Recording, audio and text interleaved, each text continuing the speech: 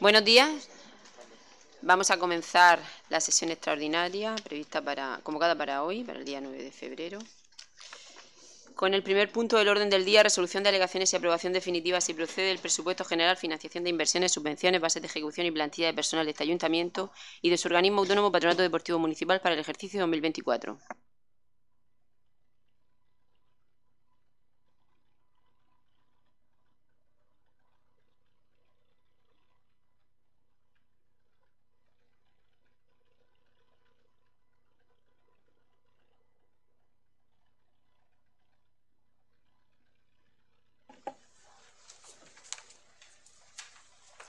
Por acuerdo del Pleno del fecha 27 de diciembre de 2023, en sesión extraordinaria, se aprobó inicialmente el presupuesto general municipal para el ejercicio 2024.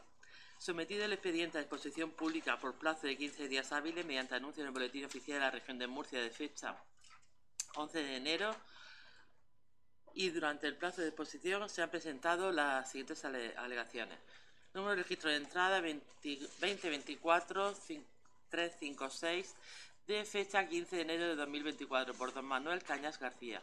Número de registro de entrada 2024 694 de fecha 25 de enero por doña Eva María Reverte Hernández como portavoz del Grupo Municipal Popular del Ayuntamiento de Águilas considerando que el expediente de aprobación del presupuesto general de este ayuntamiento y su organismo autónomo, el Patronato Deportivo Municipal, ha seguido la tramitación establecida en la legislación vigente mencionada, considerando que las reclamaciones, alegaciones formuladas se basan en los siguientes motivos. Primera, reclamación presentada por don Manuel Cañas García, en la que se presentan alegaciones a la plantilla de personal de 2024, que forma parte del presupuesto de la entidad, relativa a la consideración relativa a la consideración de la plaza que ocupa de agente de desarrollo local como plaza estructural. Segunda, escrito presentado por doña Eva María Reverte Hernández, portavoz del Grupo Municipal Popular, en el que presenta alegaciones referentes a la tramitación del expediente del presupuesto general en relación a fechas y documentación sobre el anexo de personal que forma parte del expediente del presupuesto general municipal para el ejercicio 2024.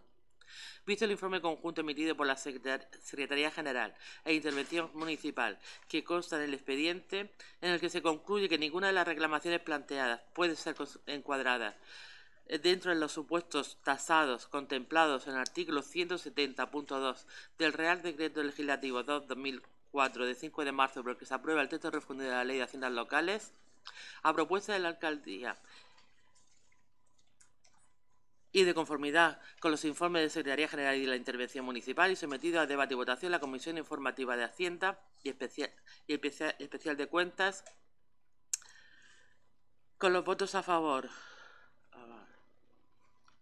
de don José Manuel Galvez García, don José Antonio Constantino López, doña Isabel Fernández Martínez y don Juan Ramón Gallego Sánchez del Grupo Municipal Socialista. Los dos votos en contra de doña Eva Eva Reverte Hernández y don Juan Manuel Zaragoza Siquier del Grupo Municipal Popular y la abstención de doña Rocío Eulalia Solís Espinosa del Grupo Municipal POS, en virtud se, se adoptó la siguiente propuesta de acuerdo. Primero, Inadmitir las referidas alegaciones presentadas por don Manuel Caña García y doña Eva María Reverte Hernández, portavoz del Grupo Municipal Popular del Ayuntamiento de Águilas, al presupuesto general para el ejercicio 2024 y durante su exposición pública por los motivos que se indican. Las alegaciones planteadas no pueden ser encuadradas dentro de los supuestos tasados contemplados en el artículo 170.2 del Real Decreto Legislativo 2-2004 porque se aprueba el texto refundido de la Ley de Haciendas Locales como motivos admisibles para reclamar contra el presupuesto. Segundo, aprobar definitivamente el presupuesto general del ejercicio 2024 con el, con el resumen de, por capítulos que se adjunta al acta y que doy por reproducido. Notificar el acuerdo a los interesados con indicación de los recursos que procedan el acuerdo de aprobación definitiva debe publicarse en el Boletín Oficial de la Región de Murcia, resumido por capítulos para su vigencia e impugnación jurisdiccional. Y el presupuesto municipal definitivamente aprobado se remitirá a copia a la Comunidad Autónoma de la Región de Murcia y a la Administración del Estado. Intervenciones por el Grupo Vox, ¿no? Por el Grupo Popular. Señora Riverte, tiene la palabra. Eh, buenos días a todos, eh, alcaldesa, interventor, secretaria accidental. Eh, bueno, La verdad es que al final eh, me ha costado bastante entender eh, el informe conjunto que han hecho para desestimar las alegaciones. Eh, creo que todavía sigo sin entender si podía o no podía presentar dichas alegaciones. En cualquier caso, es cierto que desde octubre estamos solicitando al ayuntamiento ese listado de la plantilla orgánica de personal. Eh, lo hicimos antes del presupuesto, lo hicimos después del presupuesto e incluso antes de presentar estas alegaciones. Hemos presentado escritos el 16 de enero, el 22 de enero y el 29 de enero y eh, ustedes mismos demostraron eh, el pasado 1 de febrero, cuando nos dieron eh, un listado mejor de esa plantilla orgánica, que no es el que venía junto al presupuesto y que, como digo, lleva fecha de firma de 1 de febrero, en el que sí que se detalla mejor ese listado de la plantilla orgánica. Eh, yo le pediría eh, directamente hoy al concejal de Hacienda y Personal, le solicitaría una mesa para ver también, puesto que van alegaciones de un trabajador de esta casa, pues para ver una mesa muy concreta en la que podamos dialogar, ya que se han hecho mesas específicas de la policía local, se han hecho mesas específicas de los trabajadores de servicios sociales, pues del personal de esta casa que está sujeto a programas específicos y que al final no entra dentro de esa plantilla orgánica. Y bueno, pues en cualquier caso, ustedes espero que el año que viene, cuando tengan que aprobar el presupuesto, lo hagan mejor, eviten que tengamos que presentar alegaciones, se estimen o no se estimen, pero en cualquier caso que siga los pasos que debe seguir. Como dijimos ya también en el Pleno, faltaba un acta, que, o sea, faltaba un informe que tenía que haber hecho el secretario y al que se alude y que se solicita por, por parte de del equipo de gobierno, pero que en ningún momento aparecía dentro, dentro del presupuesto que ustedes aprobaron. Tiene la palabra el concejal delegado de la materia, por parte del equipo de gobierno. Gracias, señora alcaldesa. Buenos días, señora secretaria, señor interventor, compañeros, compañeras. Eh, efectivamente, hoy vamos a, por fin, se podría, se puede aprobar el presupuesto de forma definitiva. quiero matizar la intervención de la señora Reverte eh, ha hecho referencia al listado de plantilla orgánica. El listado como tal sí que costaba en el expediente, donde se recogen todas las plazas, la, eh, forma de... O sea, todas las plazas, eh, servicios especiales, administración general, definido por, por servicios especiales. Entonces, y parte también la consignación económica. Esa es la información básica que debe formar parte del expediente del anexo de personal que forma parte del expediente administrativo del presupuesto. Y el documento que ha hecho referencia es un documento refundido donde sí aparecen las plazas con la consignación. Ese documento podría facilitar lo que ya se ha dado, tanto la plantilla orgánica como la consignación presupuestaria, que es básica y requisito para aprobar el presupuesto. El, como bien ha, leído la señora secretaria accidental, eh, existen dos eh, alegaciones al presupuesto durante la exposición pública. Una de ellas eh, se alega la falta de o la, posible falta de una plaza de forma estructural. Es un tema también que está judicializado y que se resolverá y habrá que esperar a lo que resuelva la Sala Segunda del, Tribunal Superior de Justicia. Y donde ya también se alegó en 2023 y nos ratificamos en esos mismos, en esos mismos argumentos. Eh, como he dicho, hoy se puede aprobar de forma definitiva el presupuesto general municipal. Eso es una muy buena noticia para eh, los trabajadores de esta casa, para, las asociaciones y, por supuesto, para las empresas y los autónomos que trabajan para este ayuntamiento. Eso es todo por el momento. Muchas gracias, señor Galvez. Por el Grupo Vox. Tiene la palabra el señor Carrasco. Gracias, buenos días. Bueno, pues decir que gran noticia será para ustedes, pero el presupuesto pues no deja de ser lo que ya se habló en el debate de presupuesto, un presupuesto que no cambia en absoluto nada respecto al del año anterior. También tengo que decir, bueno, por supuesto nuestro voto va a seguir siendo en contra y eh, a la vez advertir, advertir al gobierno municipal que aunque estas alegaciones que han presentado tanto la portavoz del grupo municipal como un funcionario de esta casa se hayan inadmitido por el tema de forma, son ustedes conocedores de, de esas alegaciones, que no les exime de cualquier responsabilidad, puesto que son conocedores de lo que alegan, aunque no se haya podido admitir por la forma o por, la, o por el, modo de, de, presentar esas alegaciones. Con lo cual se aprueba el presupuesto, pero que mantengan ustedes que son conocedores de que esas alegaciones se han presentado, aunque hayan sido inadmitidas por diversos motivos que no van al fondo de la cuestión de, de lo que dicen de sí esas alegaciones. Solamente decir eso y bueno, que nuestro voto seguirá siendo en contra. Gracias, señor Carrasco. Señora Reverte, tiene la palabra en el segundo turno. Pues yo le quiero insistir, señor Calvez, en que la información que costaba eh, a disposición de los grupos municipales no era la correcta. Insisto, ustedes con este informe del 1 de febrero lo demuestran que no era la correcta información que teníamos a nuestra disposición para aprobar el presupuesto. Ya les dijimos también que no, que no queríamos votar, se lo veníamos diciendo desde las comisiones que se organizaron eh, de Hacienda previas al Pleno, porque faltaban informes en el presupuesto y porque no hayamos tenido la documentación en tiempo y forma.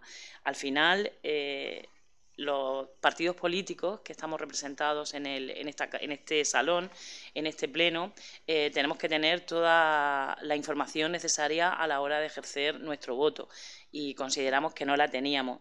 Eh, ustedes eh, nos dicen en, este informe conjunto que deniegan estas alegaciones porque las hemos presentado como portavoz del Grupo Municipal Popular. si no lo hubiera hecho así, pues posiblemente estas alegaciones también eh, seguramente eh, se hubieran desestimado, eh, pero al final la persona es lo que es. Si yo no le hubiera puesto que era portavoz del Grupo Municipal Popular, pues dicen ustedes que sí que podrían haberse visto de otra manera estas alegaciones. En cualquier caso, yo lo que le invito es a seguir trabajando. Como le digo, y quiero que, que esa mano que le tiendo la tome y esa mesa negociadora para los funcionarios de esta casa que están sujetos a programas específicos también se haga, eh, también se trabaje eh, con, esas personas y bueno, pues se le dé la oportunidad que están teniendo el resto de funcionarios del Ayuntamiento de Águila. Muchas gracias, señora Reverte. Señor Galvez tiene la palabra.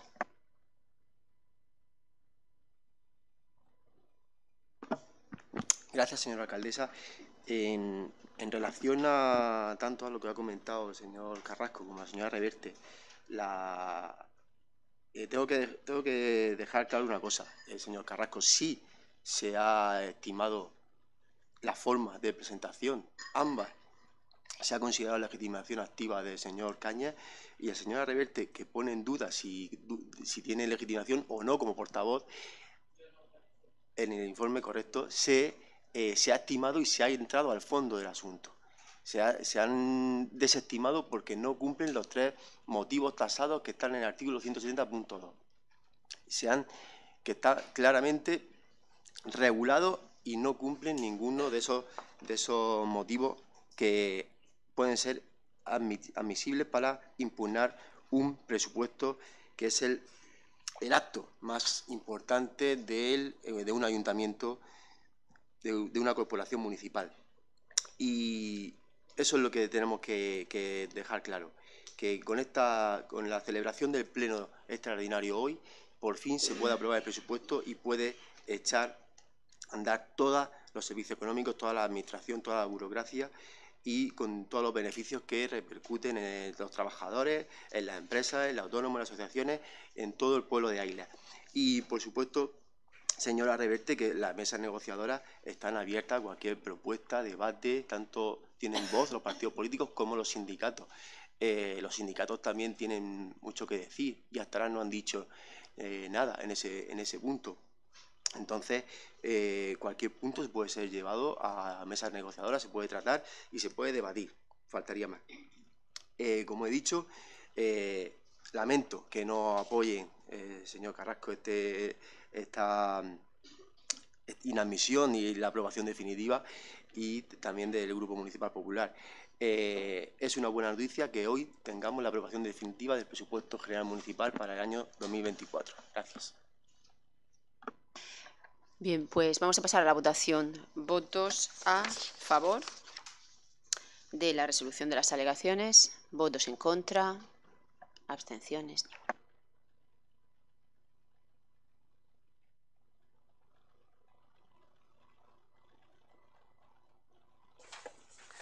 Con los votos a favor de 11 de los concejales que forman la corporación, queda aprobado el, el punto que nos ocupa respecto a la aprobación definitiva del presupuesto municipal para el ejercicio de 2024. Punto número 2 del orden del día. Aprobación si procede la propuesta de alcaldía para dejar sin efecto la delegación de competencias del Pleno en la Junta de Gobierno local única y exclusivamente en cuanto a la declaración de lesividad de los actos del Ayuntamiento, así como la revisión de oficio de los actos nulos. La Comisión Informativa de Asuntos Generales. La Comisión Informativa de Asuntos Generales, en la sesión extraordinaria celebrada el pasado 6 de febrero, emitió el siguiente dictamen. Visto el acuerdo adoptado por el- respecto a la propuesta que se, que se eleva a este pleno por parte de la alcaldesa para dejar sin efecto la delegación de competencias del pleno en la Junta de Gobierno. Visto el acuerdo adoptado por el Pleno Sesión Ordinaria celebrada el 25 de septiembre de 2023, por el que se delegan en la Junta de Gobierno local determinadas competencias atribuidas al mismo, visto el informe emitido con fecha 31 de enero de 2024 por, en este caso por mí, en la condición de jefa de régimen interior y personal, del que se ha dado cuenta a la Junta de Gobierno local en la sesión ordinaria celebrada este mismo día, en el que se propone que se eleve al Pleno Corporativo una próxima sesión, que celebre el acuerdo de dejar sin efecto la delegación de competencias en la Junta de Gobierno local adoptado en sesión ordinaria celebrada el 25 de septiembre de 2023, en cuanto a la declaración de lesividad de los actos del Ayuntamiento, así como la revisión de oficio de los actos nulos, en virtud de la sentencia del Tribunal Supremo 1646-2022 de 13 de diciembre, que fija doctrina interpretativa de los artículos 22.2j y 121 de la Ley 7-1985 de 2 de abril, reguladora de la base de régimen local, artículos 62, 102.1 y 102.3 de la Ley 30-1992, actualmente 47 y 106.1 de la Ley 39-2015, en el sentido de, de entender no delegable la facultad del Pleno del Ayuntamiento de la revisión de oficio de actos administrativos. Por tanto, el acuerdo que se propone adoptar es dejar sin efecto el acuerdo adoptado por el Pleno en sesión ordinaria celebrada el 25 de septiembre de 2023, por el que se delegan determinadas competencias del mismo en la Junta de Gobierno local, única y exclusivamente en cuanto a la declaración de lesividad de los actos del Ayuntamiento, así como la revisión de oficios de actos nulos. Publicar el acuerdo en el Boletín Oficial de la Región de Murcia, cursando efecto a partir del día siguiente al de su adopción. Intervenciones. Se- Señora Soler, tiene la palabra. Buenas noches a todos. Eh, buenas noches, buenos días, buenos días. buenos días, feliz, buenos días, feliz carnaval. Eh, eh, estamos ya, hemos perdido. Sí. bueno, pues en primer lugar, eh, dejar claro por qué se ha traído esto de nuevo a pleno. En, la, en el pleno del 25 de septiembre del 2023, nosotros ya le manifestamos que lo que estaban haciendo era contrario a la ley.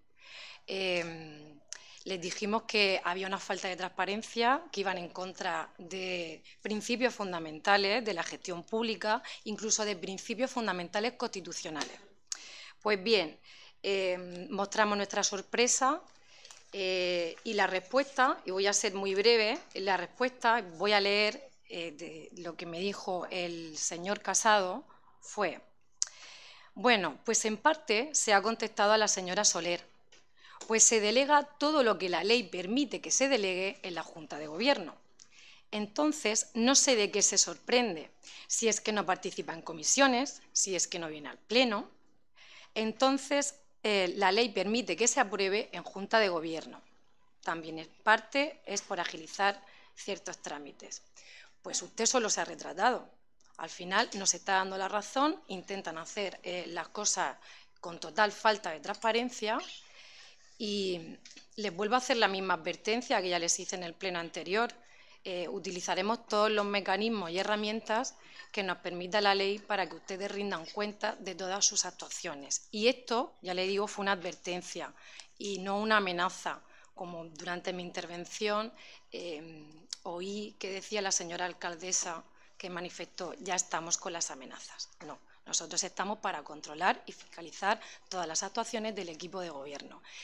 Y como les digo, em, el informe eh, nos ha dado la razón y delegaron todas las competencias que ustedes vieron a su libre albedrío y quizá los que no vienen a las comisiones, los que no van al pleno y los que no se estudian los asuntos sean ustedes. Gracias, señora Soler. Señor Casado, tiene la palabra.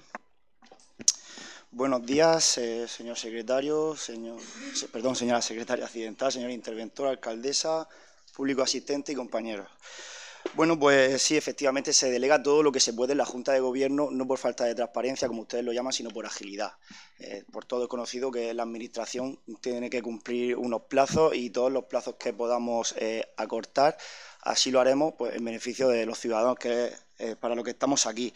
Que si, por ustedes fuera, traeríamos al, Pleno hasta el pago de las facturas que van semanalmente a la Junta de Gobierno, porque casi le falta decir eso.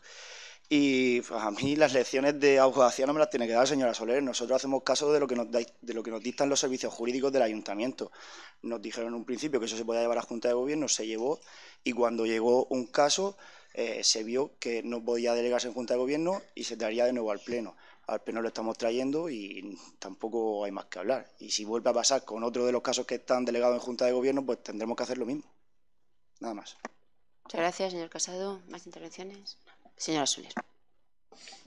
Señor Casado, si hay más que hablar, nosotros ya le dijimos que esto iba en contra de la ley. O sea, es que estaba muy claro, lo sabíamos nosotros, lo deberían de haber sabido ustedes. O sea, que el ayuntamiento eh, pueda declarar la lesividad uno de sus propios actos, eso va en contra de la ley. Y no solamente lo sabemos, lo sé yo, porque eh, sea abogada. Es que hay que estudiarse los temas. No se pueden hacer cosas que vayan en contra de la ley. Eh, porque entonces estamos vendidos. Hay alguien tan formado pues que oposite al secretario del ayuntamiento o a servicios jurídicos del ayuntamiento y, y diga lo que tengamos que hacer, nada más. Muchas gracias. Vamos a pasar a la votación. ¿Votos a favor? ¿Votos en contra? Ah, eso estoy diciendo, digo, a ver si ahora tanto. ¿Votos a favor? ¿Votos en contra? ¿Atenciones?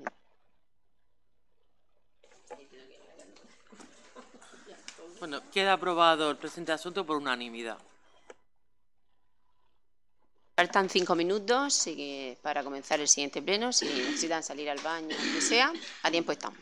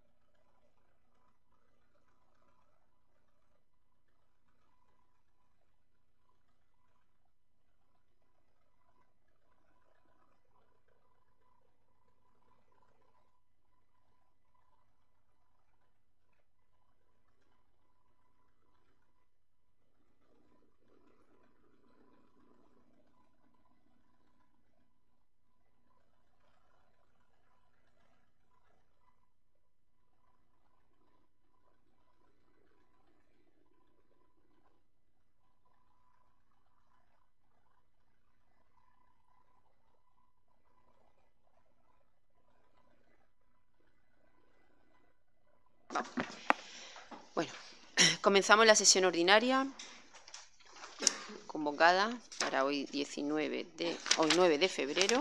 Con el primer punto del orden del día, ratificación si procede el cambio de fecha de celebración de la presente sesión plenaria de carácter ordinario.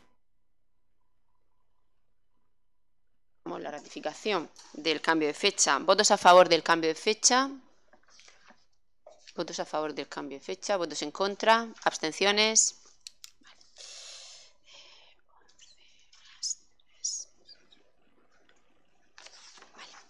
Eh, ¿eh?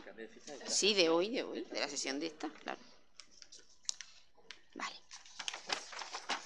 Segundo punto del orden del día. Aprobación si procede el acta número 2023-16 correspondiente a la sesión ordinaria celebrada el día 27 de noviembre de 2023 y del acta número 2023-17 correspondiente a la sesión extraordinaria celebrada el día 27 de diciembre de 2023. ¿Votos a favor? Ah, sí, pues, tiene la palabra.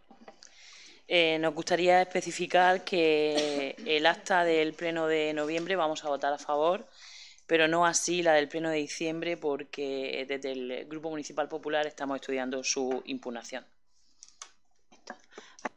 A favor de la del 27 de noviembre.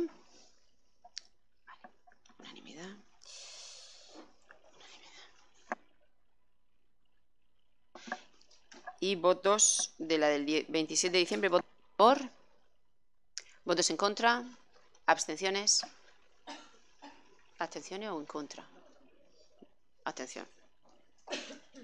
¿Y Grupo Vox? Abstención. Si no votan, es abstención. Abstención, ¿no? Vale. Sí, sí, sí. Vale. Perfecto. Punto número 3 del orden del día, dación de cuenta del informe de intervención de fecha 10 de enero de 2024 sobre cumplimiento de los plazos previstos en la Ley 15 2010 de medidas de lucha contra la morosidad correspondiente al cuarto trimestre de 2023.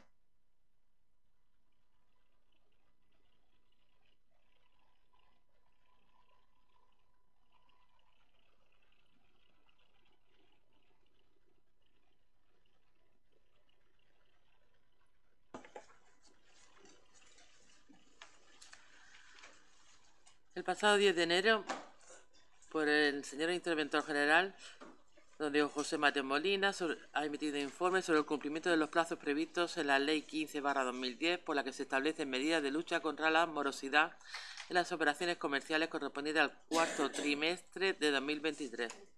Registro contable hasta el 31 de diciembre de 2023.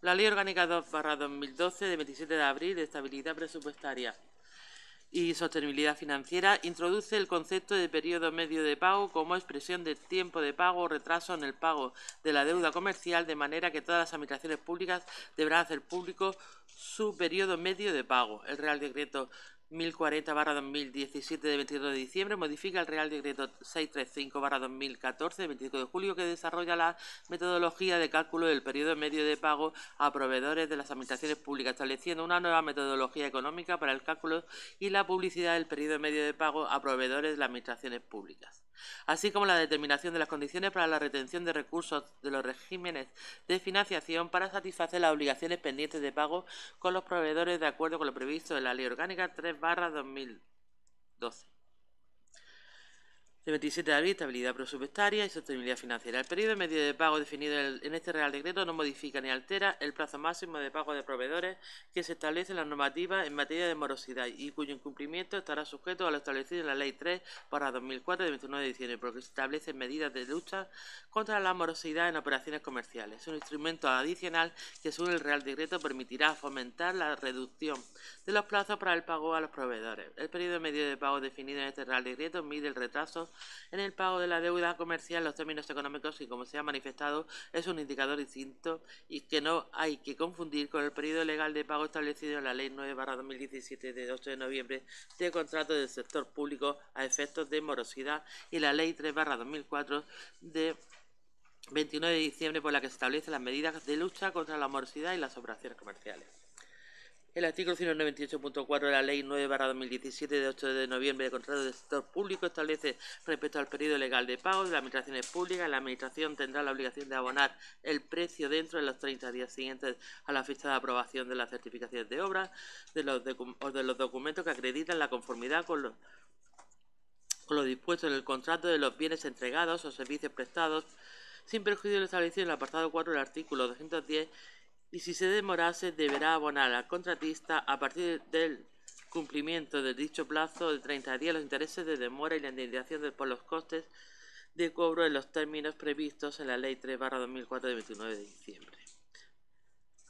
Para que haya lugar al inicio del cómputo del plazo para el devengo de intereses, el contratista deberá haber cumplido la obligación de presentar la factura ante el registro administrativo correspondiente a los términos establecidos en la normativa vigente sobre factura electrónica en tiempo y forma en el plazo de 30 días desde la fecha de entrega efectiva de la mercancía o la prestación del servicio.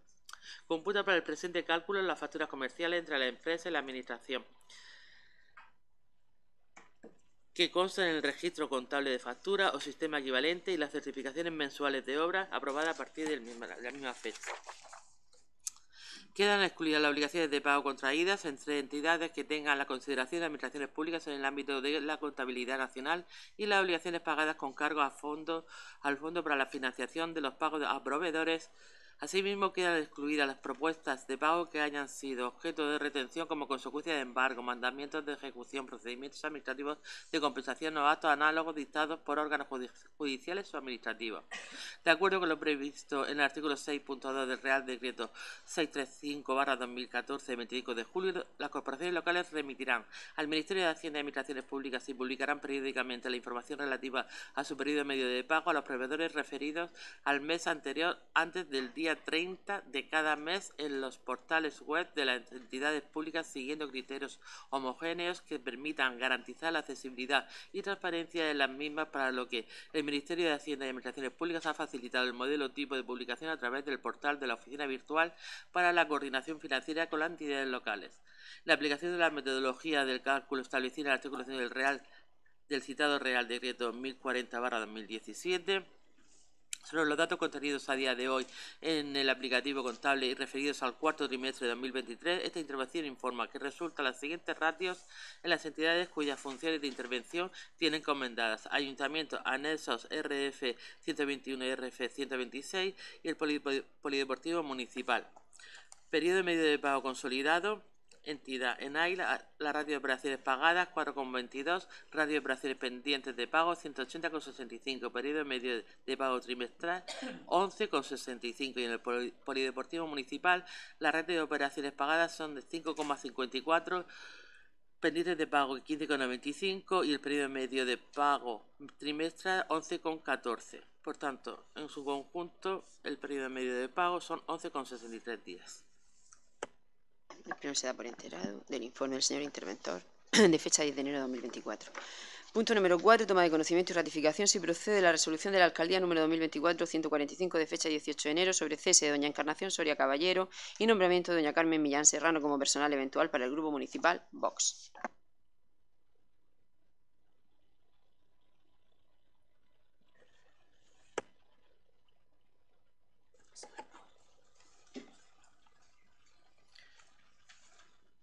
La citada resolución de la alcaldía número 2024 145 de fecha 8 de, eh, perdón, 18 de enero establece lo siguiente. Resultando que tras la constitución de la nueva corporación municipal del pasado 17 de junio de 2023 y la y de la investidura doña María del Carmen Moreno Pérez como alcaldesa presidenta de este ayuntamiento se renovó el personal de confianza de este ayuntamiento. Por decreto de alcaldía de fecha 19 de junio de 2023, número 1441 de 2023 y corrección por decreto de alcaldía de fecha 20 de junio de 2023, se nombró para ocupar el puesto de trabajo de confianza de secretaria de grupo con las funciones de auxiliar administrativo, en concreto para el grupo municipal VOS, a doña Encarnación Soria Caballero, con sujeción a las siguientes características, la jornada será del 100% y con las siguientes retribuciones brutas grupo de clasificación C2 y en régimen de dedicación exclusiva que se detallan a continuación. El sueldo base 696,13, complemento de destino 458,74 y el específico de 782,19. Dos pagas extras cuya cuantía asciende a 1.930,71 cada una, total retribución anual 27.106,14, costes anuales de cotización asociados al alta 8.457,11, todo ello sin perjuicio de las actualizaciones que legalmente correspondan. Teniendo en cuenta que el artículo 104 de la Ley de Base de régimen local establece, entre otras cosas, el número características y retribuciones del personal eventual será determinado por el Pleno de cada corporación al comienzo de su mandato. Determinaciones solo podrán modificarse con motivo de la aprobación de los presupuestos anuales. Normalmente el cese de, los, de estos funcionarios es libre y corresponde al alcalde presidente de la entidad local correspondiente. Cesa automáticamente en todo caso cuando se produzca el cese o expire el mandato de la autoridad a la que preste su función de confianza o asesoramiento. Los nombramientos de funcionarios eventuales, el régimen de sus retribuciones y su dedicación se publicarán en el Boletín Oficial de la provincia, en su caso desde la propia corporación. Visto el escrito presentado por don Isidro Carrasco Martínez, portador del Grupo Municipal BOS, de fecha 10 de enero de 2024, donde propone el cese de doña Encarnación Soria Caballero, con efecto del día 31 de enero de 2024, y propone el nombramiento en idénticas condiciones de doña Carmen Millán Serrano, con arreglo a lo dispuesto en el artículo 104.2 de la Ley 7 1985 de abril de base del régimen local, en su escrito de entrada de fecha 10 de enero de 2024, como se ha dicho. Así como el escrito que, presenta don Isidro Carrasco Martínez, también con fecha 16 de enero de 2024, donde comunica que con esta fecha ha tenido conocimiento de que doña Encarnación Soria Caballero ha presentado parte de incapacidad laboral temporal, por lo que solicita la sustitución inmediata de la citada funcionaria eventual hasta la fecha prevista de cese que comunicó en su anterior escrito del 10 de enero. Este es el informe emitido en sentido favorable por el interventor municipal. La resolución dispone cesar a doña Encarnación Soria Caballero con efecto del 31 de enero de 2024, en base al artículo 104.2 de la Ley 7 1985. Se, eh, Segundo, nombrar para ocupar el puesto de trabajo de confianza de secretaria de grupo con las funciones de auxiliar administrativo, en concreto para el grupo municipal POS a doña Carmen Millán Serrano, con sujeción a las siguientes características. La jornada laboral será completa con las retribuciones brutas de su clasificación de C2 y en régimen de dedicación exclusiva que venía percibiendo doña Encarnación Caballero Soria hasta la fecha. El presente nombramiento no surtirá efectos administrativos desde la fecha de la toma de posesión y hasta que se produzca el cese o expire el mandato de la autoridad a la que represente su función de confianza. De su contenido habrá de darse cuenta al, al Pleno la próxima sesión que celebre. la naturaleza del funcionario eventual, el cese de citado funcionario eventual se producirá el mismo día que expire el mandato de la presente corporación, su caso, y, o el de la notificación del cese expreso decretado por la alcaldía. La naturaleza jurídica de las relaciones administrativas quedando excluida, por tanto, del ámbito regulador de la legislación laboral. Entre lo no previsto en el presente decreto será de aplicación a la legislación vigente en materia de funcionarios. Notifica la presente resolución a los interesados. Intervenciones. Pues pasamos a la votación. ¿Votos a favor? a favor. ¿Voto en contra? ¿Abstenciones? No, no, no. no, no,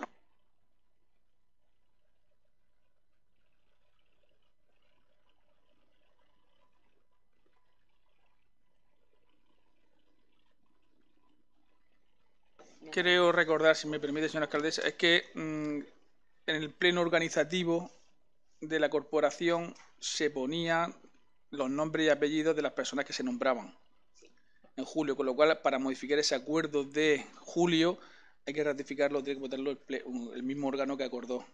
Si no se hubieran puesto los nombres no habría que ratificarlo porque sería competencia de, la alcaldía, pero al ponerse en el acta, en el acuerdo, los nombres, hay que, al modificar el acuerdo hay que modificarlo por pleno. Votos a favor. No, intervenciones, no querido intervenir. Votos en contra, abstenciones. Pues queda ratificado el presente asunto.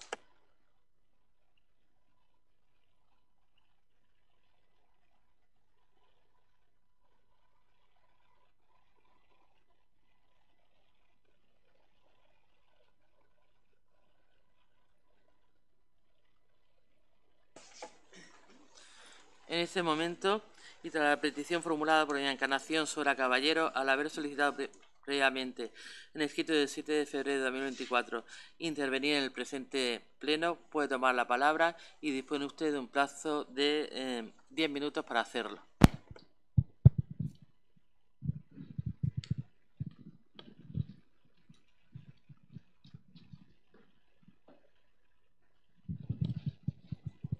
Buenos días a todos, señora alcaldesa, concejales, público. Me llamo Encarna Soria Caballero, pero me conocen como Paqui Soria. Con motivo de las elecciones municipales, el 19 de junio de 2023 fui nombrada secretaria del Grupo Municipal VOS en el Ayuntamiento de Águilas, algo que tanto a mí como a mi partido nos pareció natural, pues desde el comienzo de este partido en Águilas he sido impulsora del mismo, defendiendo unos ideales con los que comulgaba. Pues señoras y señores, el pasado 10 de enero el portavoz del Grupo Municipal, Isidro Carrasco Martínez, me comunica verbalmente mi cese con fecha 31 de enero de 2024 como ustedes saben, el cese lo tiene que hacer el que adoptó el nombramiento por pérdida de confianza. Sospechar no fue por pérdida de confianza. Personalmente, el portavoz de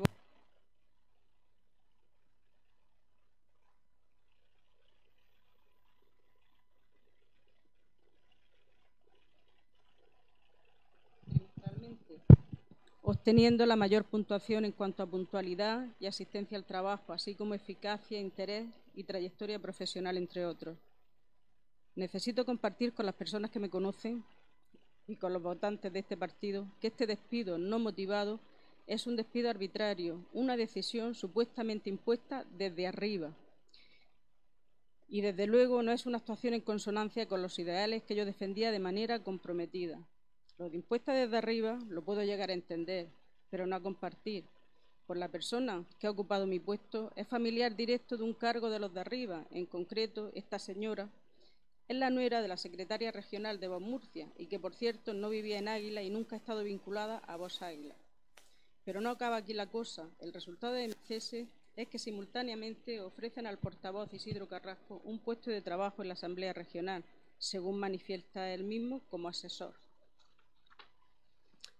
Me veo en la obligación de decir públicamente, y por los mismos ideales que me llevaron a ser afiliada de vos en mi pueblo, que la verdadera razón de mi cese no es la pérdida de confianza, es supuestamente un pago de favores políticos. Tristemente es así. Esta decisión lo que hace es aumentar la desconfianza que generan los políticos en la sociedad actual. Desconfianza que hizo que vos surgiera en este país. Pues bien, quiero que sepan todos que este despido ni es ético ni es moral. Es como si las personas no importaran. Si surge la necesidad de colocar a un familiar, se coloca y sin ningún escrúpulo, cesando a personas que, como yo, tuvo desde el primer momento la buena fe de afiliarse a un partido para acabar con estos comportamientos que no tienen en cuenta a los individuos. No es venganza, pero sí justicia. Decir que mi cese es injusto, arbitrario y desleal. A estas alturas, casi todos conocéis cómo empezó Vos en Águila y si no, se lo voy a recordar. Les tengo que decir que junto a mi marido Juan, los dos solos montábamos mesa informativa los domingos frente a la iglesia San José y los sábados en el mercado semanal. Pusimos nuestra cara, sacrificio y generosidad en unos momentos difíciles para este partido. Ahí estábamos, valientes, con ilusión, con ilusión y esperanza de que algún día fuésemos muchos más y de esta manera poder llevar a cabo las medidas que vos proponía. El señor Carrasco ha demostrado ser incapaz de mantener su palabra y pienso que se cree que está por encima de la política y a los hechos me remito para que ustedes lleguen a sus propias conclusiones. De esta manera se está trabajando en el interés personal y para sí mismo y por lo visto ahora en vos la traición tiene precio y premio. Si hay que pisotear al debajo para cumplir sus expectativas, no hay problema ni escrúpulos. Y poco ha importado el daño que a mí se me haya podido causar. Tanto el que ofrece mi puesto a cambio de otro, como el que lo acepta y el que consiente todo este mercadeo están al mismo nivel. Para mis conclusiones, la decisión de mi cese ha sido impuesta desde Lorca o Murcia, pesando más ser la hija política de alguna secretaria regional sin vinculación a Águila, que ha estado desde el primer momento luchando por unos ideales en mi pueblo. Continúo. Por otra parte, el señor portavoz en Águilas me dice que se quiere profesionalizar el partido. Pues no sabemos, porque la titulación del señor Carrasco está por ver, pues no lo ha hecho público. Y próximamente podría ser asesor en la Asamblea Regional. Sin embargo, su secretaria cesada posee una titulación universitaria, graduado social por la Universidad de Murcia. Pues ya no sé lo que se entiende por profesionalizar el partido. El siguiente paso es tratar de silenciarme. Anoche, tras comunicar en el grupo de WhatsApp de afiliados y simpatizantes de Voz Águila, comuniqué que hoy se celebraría el pleno ordinario en el que yo iba a intervenir para explicar mi cese. A los dos minutos este mensaje fue eliminado. Su intención es que lo que está ocurriendo no trascienda, privando de información relevante a estas personas que hasta ahora han confiado en sus representantes. Su actitud con todo lo expuesto puedo calificarla de poco noble. Vos venía a luchar contra la corrupción y los chiringuitos, y aquí se demuestra que no, pues estas decisiones son más propias de la vieja política, creando desafección entre afiliados y simpatizantes, que ven cómo se traiciona todo el trabajo realizado a cambio de favores y estando por tierra parte del ideario de Vos, que se supone que defendía la erradicación de la corrupción y el tráfico de influencias. Me gustaría tener una respuesta de la Dirección Regional y Nacional del Partido Vos. Si estas decisiones caciquiles son algo aisladas o solo pasa en Murcia, pues esa respuesta me hace falta para yo darla a los que confiaron en nosotros en Águilas.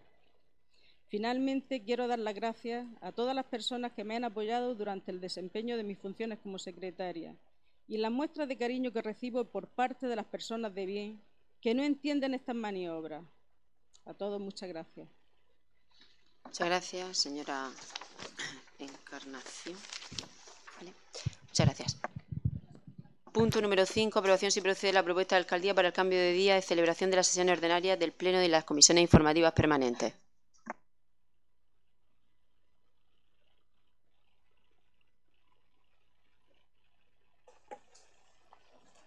La propuesta de alcaldía dice así. El Pleno de la Corporación, sesión extraordinaria sobre organización y funcionamiento celebrada el día 3 de julio de 2023 acordó, entre otros asuntos, el, establecimiento de la periodicidad de las sesiones ordinarias del Pleno, así como de, las comisiones informativas permanentes, de conformidad con lo establecido en el artículo 6 del reglamento orgánico de este ayuntamiento, concordancia con el artículo 46.2a de la Ley 7 1985 de base de régimen local. Visto que el apartado dispositivo segundo del referido acuerdo establece lo siguiente, no se celebrará pleno ordinario en el mes de agosto ni en el mes de diciembre como consecuencia del periodo vacacional, sin perjuicio de los plenos extraordinarios que puedan convocarse.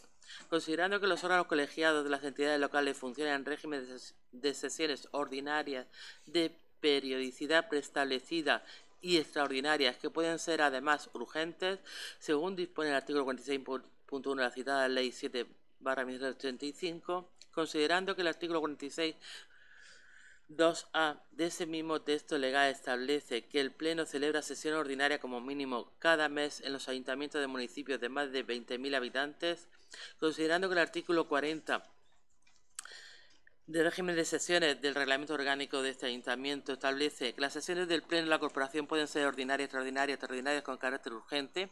El Pleno del Ayuntamiento celebrará sesión ordinaria una vez al mes. El día y hora de la sesión ordinaria será fijada por el acuerdo del Pleno en sesión extraordinaria referida a la. Eh, en el artículo 6 del presente reglamento, si bien con carácter excepcional y en caso de coincidencia de la fecha y horas señaladas en fecha efectiva o que se sobrevinieran causas de fuerza mayor u otros motivos de índole oficial o de representatividad institucional, el órgano competente para la convocatoria podrá, con la debida antelación y debate en la Junta de Portavoces, establecer otras fechas y horas de la correspondiente sesión ordinaria. No obstante, este acuerdo podrá ser modificado posteriormente mediante acuerdo plenario. Asimismo, el artículo 75, en cuanto a las sesiones del mismo reglamento orgánico municipal establece las comisiones informativas celebrarán sesiones ordinarias siempre que haya asuntos que tratar en los días y horas que establezca la alcaldía o su respectivo presidente o presidenta, quienes podrán asimismo convocar sesiones extraordinarias o urgentes de las mismas. La presidencia estará obligada a convocar sesiones extraordinarias cuando se lo solicite la cuarta parte al menos de sus miembros. Por todo ello se propone a este pleno la adopción del siguiente acuerdo. Dejar sin efecto el apartado dispositivo segundo del acuerdo plenario adoptado en la sesión extraordinaria sobre organización y funcionamiento celebrada el 3 de julio de 2023 sobre determinación de la periodicidad de las sesiones ordinarias del Pleno.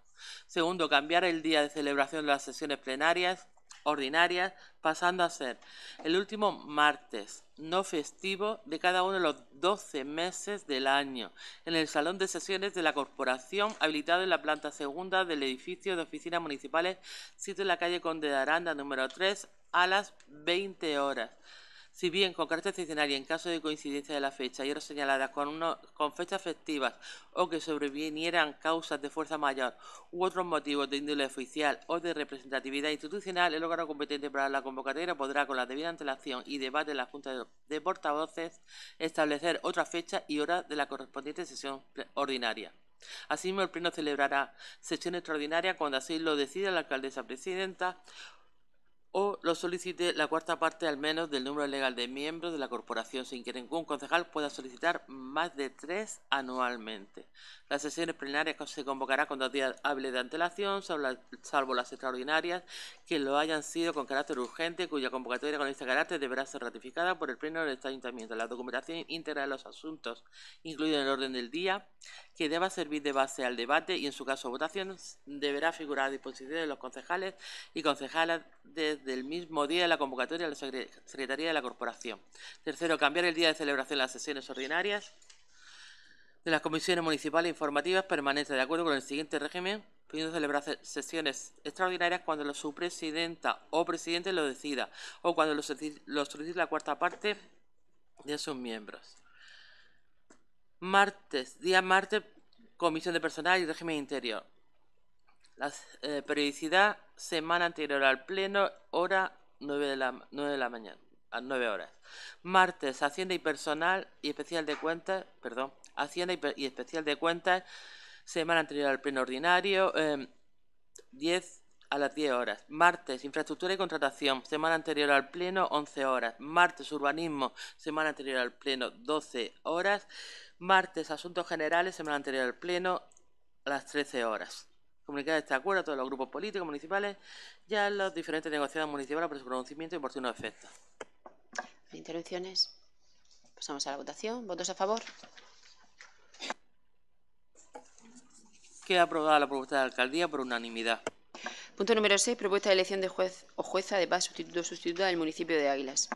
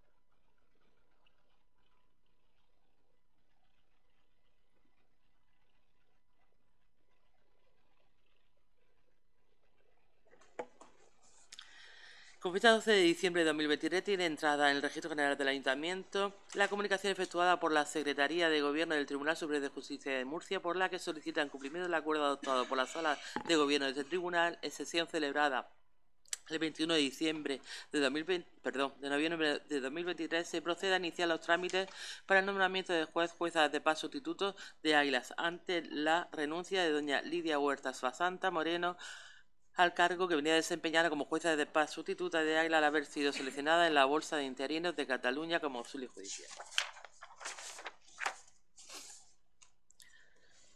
con fecha 18 de diciembre pasado se remite al juzgado de Cana de Lorca y al juzgado de paz de Águilas el edicto de la alcaldesa presidenta del Ayuntamiento de Águilas publicado en el Boletín Oficial de la Región de Murcia, número 1, página 46, de fecha 2 de enero, por la que se abría un plazo de 15 días hábiles para que las personas que estuvieran interesadas y reunieran las condiciones legales solicitasen ser nombradas juez, jueza de paz, sustituto, sustituta del municipio de Águilas.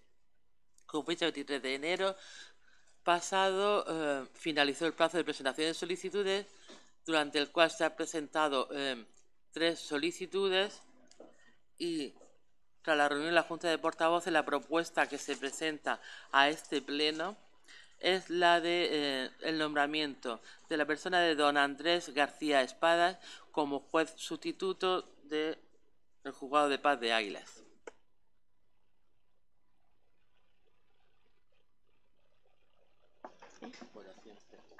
¿Puntos a favor?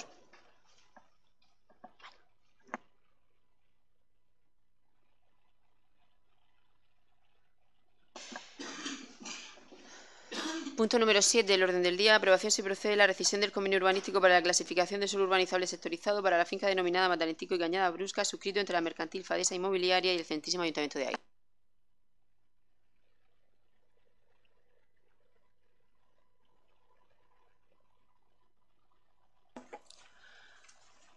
La Comisión Municipal Informativa de Urbanismo, en sesión ordinaria celebrada el pasado 22 de enero, emitió el siguiente dictamen.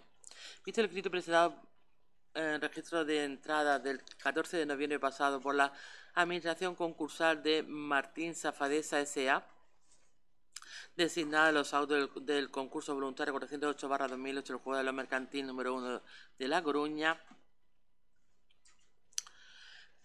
representada por doña Ana Capderá Gutiérrez y Banquita S.A., representada por don Diego Luis Miguel Comendador Alonso, en el que insta al Ayuntamiento a la recepción del convenio urbanístico aprobado el 14 de febrero de 2005 para la clasificación de suelo urbanizable sectorizado en la finca denominada Matalentico y Cañada Brusca, se han producido los siguientes antecedentes. Primero, que mediante escrito presentado con fecha de registro de entrada del 3 de abril de 2023 por la Administración concursal indicada, designar los autos del concurso voluntario 408 barra 2008.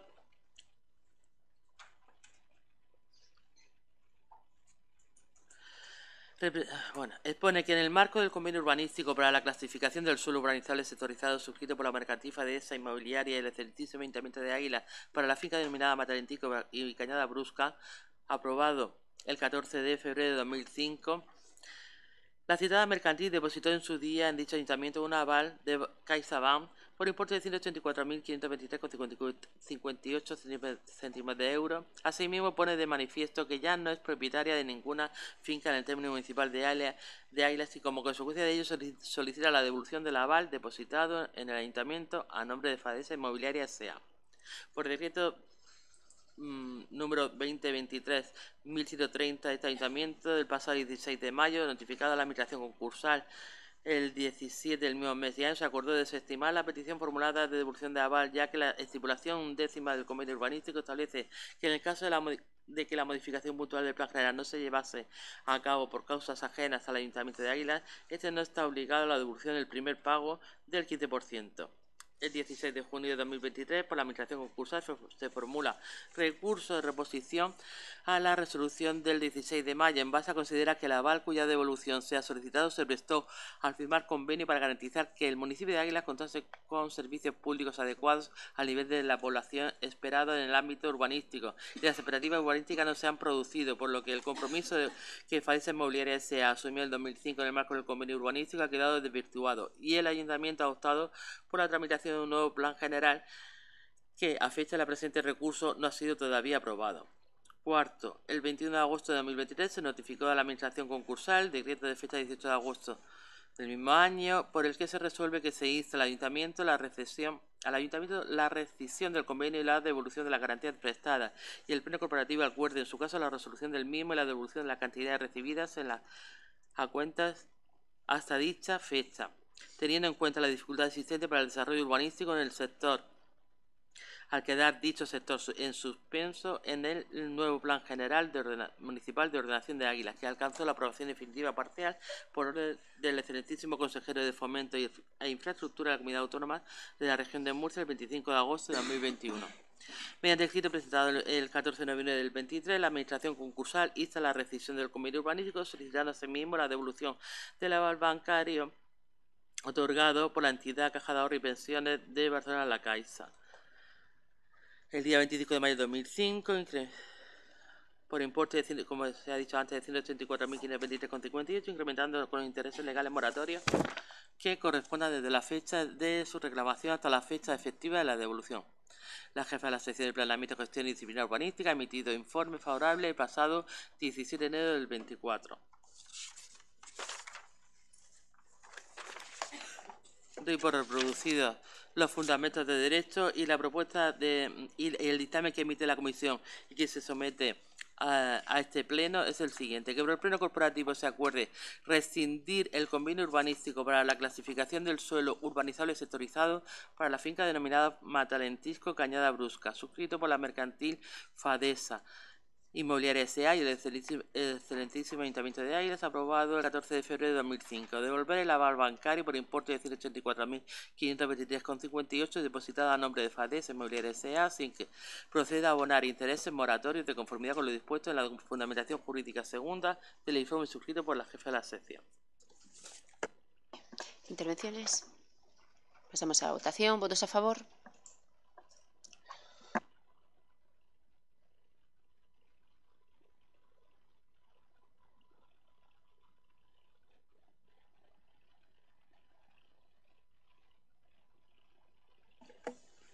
Queda aprobada el presente asunto por unanimidad.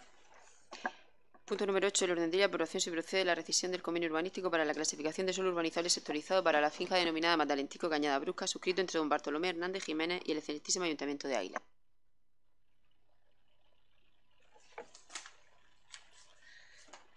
El dictamen emitido por la Comisión Municipal Informativa de Urbanismo, celebrado el pasado 22 de enero,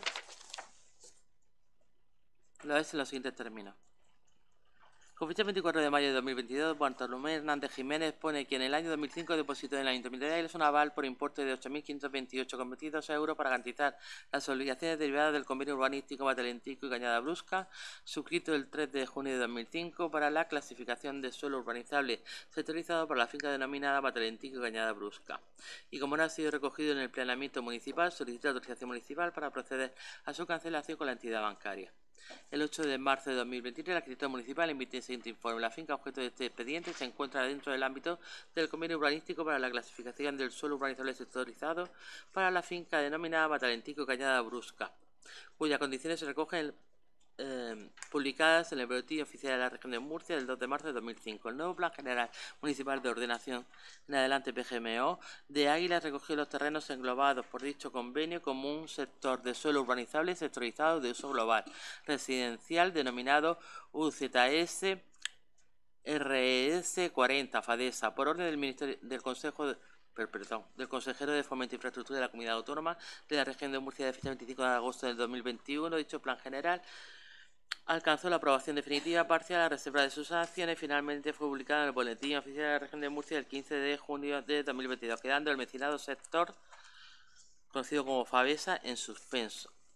Por decreto 3654 de 2022 acordó desestimar la petición formulada de devolución del aval otorgado a don Bartolomé Hernández Jiménez correspondiente al primer pago del 15% de la cantidad final aportada a la firma del convenio para cantidad de las obligaciones derivadas del mismo ya que la estipulación décima del convenio urbanístico establece que en el caso de modificación mutual del plan general no se lleve a cabo por causas ajenas al Ayuntamiento de Águila, este no está aplicado a la devolución del primer pago del 15%. El 13 de julio del 23, el señor Hernández Jiménez formula recurso de reposición a dicha resolución al considerar que el convenio urbanístico para la clasificación de suelo urbanizable sectorizado para la finca Matalintico y Cañada Brusca ni a corto ni a medio plazo es previsible que pueda llegar a continuar su tramitación teniendo en cuenta que el sector ha quedado en suspenso en el plan general publicado el 15 de junio de 2022. Por decreto de fecha 18 de agosto del 23 se acuerda comunicar al alegante que insta al Ayuntamiento la recepción del convenio y la devolución de la garantía prestada y que el Pleno Corporativo acuerde en su caso la resolución del mismo y la devolución de las cantidades recibidas a cuenta hasta, la hasta dicha fecha, teniendo en cuenta la dificultad existente para el desarrollo urbanístico en el sector correspondiente del Plan General Municipal de Nación Urbana, que alcanzó su aprobación definitiva y parcial el 25 de agosto de 2021. Eh, con fecha del 20 de noviembre del 23, el señor Hernández Jiménez solicita la rescisión del convenio del sector que nos ocupa, manifestando su renuncia a seguir adelante con el mismo por conseguir la, perdón, la cancelación del aval depositado. La jefa de la sección de Planeamiento, Gestión y Disciplina Urbanística ha emitido informe, informe favorable el pasado 17 de enero de 2024. Dando por reproducido los fundamentos de derecho que obran en esta propuesta, el dictamen que se, somete a la aprobación de este, de este pleno es el siguiente, que el pleno corporativo se acuerde de rescindir el convenio urbanístico suscrito el 3 de junio de 2005 entre el Ayuntamiento de Águilas y don Bartolomé Hernández Jiménez para la clasificación de suelo urbanizable sectorizado de la finca denominada Talentico Cañada Brusca. Devolver el aval bancario por importe de 8.528 con 22 depositados a nombre de don Bartolomé Hernández Jiménez de conformidad con lo dispuesto en la fundamentación jurídica segunda del informe de la jefa de la sección. ¿Intervenciones? Pasamos a la votación. ¿Votos a favor? ¿Votos en contra?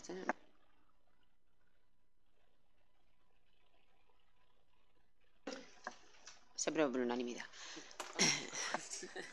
Queda aprobada por unanimidad. Vale. Punto número 9. Aprobación si procede la moción conjunta del Grupo Municipal Socialista y el Grupo Municipal Popular para la elaboración de una ordenanza que regule los vehículos de movilidad personal. Da lectura de la misma la señora Secretaria General Accidental. En los últimos años, con la aparición de los vehículos de movilidad personal, habitualmente conocidos como patinetes eléctricos, se ha producido un cambio muy importante en la forma de desplazarnos dentro de las ciudades. Estos vehículos, que son muy interesantes por su pequeño tamaño y su nula contaminación al ser impulsados por energía eléctrica, están generando muchos conflictos tanto con los peatones como con el resto de los vehículos, ya que al no estar regulados y no, necesitar ningún tipo de licencia para su conducción, en numerosas ocasiones esos conductores, esos conductores no eh, respetan las normas de circulación ni la convivencia con los demás usuarios de nuestras calles. Son los ayuntamientos quienes deben velar por la seguridad de los vecinos y actualmente en Águilas no contamos con una ordenanza municipal que regule los VMP, no, VMP, sí, bien dicho, ordenanza con la que sí que cuentan ya en otras ciudades de nuestra región. Aquí solo existe alguna referencia a este tipo de vehículos, la ordenanza reguladora del área de prioridad peatonal y acceso restringido en la ciudad de Águilas del 21 de agosto de 2021, pero solo de aplicación a tres calles. En nuestra, en nuestra, localidad han tenido lugar ya varios accidentes en los que han estado implicados estos vehículos. Es por ello que, dado que estas nuevas formas de desplazamiento ya son habituales en nuestra ciudad, existe la necesidad de regularlas urgentemente.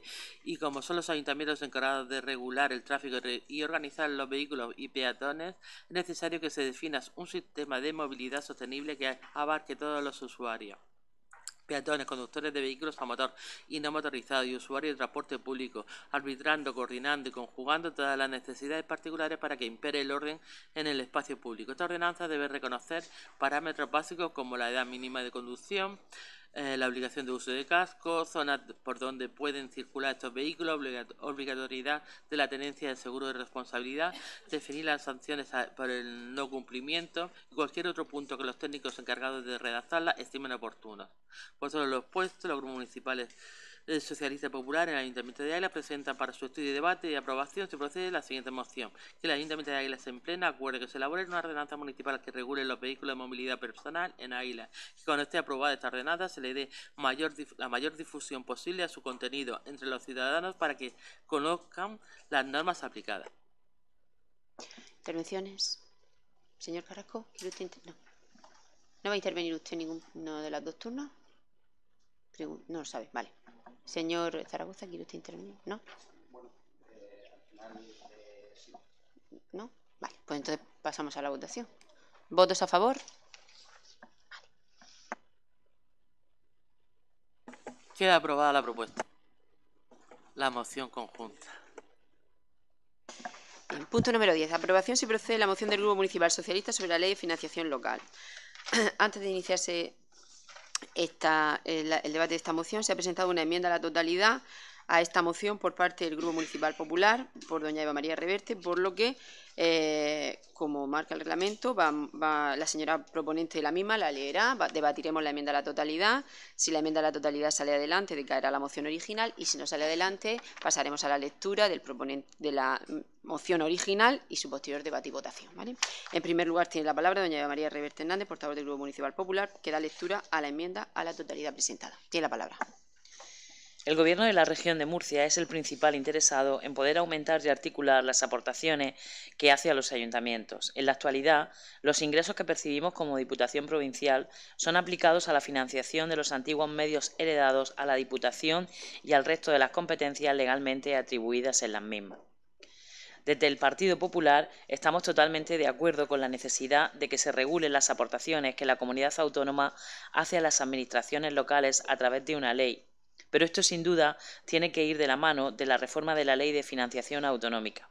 Cuando la región de Murcia deje de ser la peor financiada de toda España, se podrá acometer esa regularización que mejore las aportaciones que la comunidad autónoma hace a los ayuntamientos.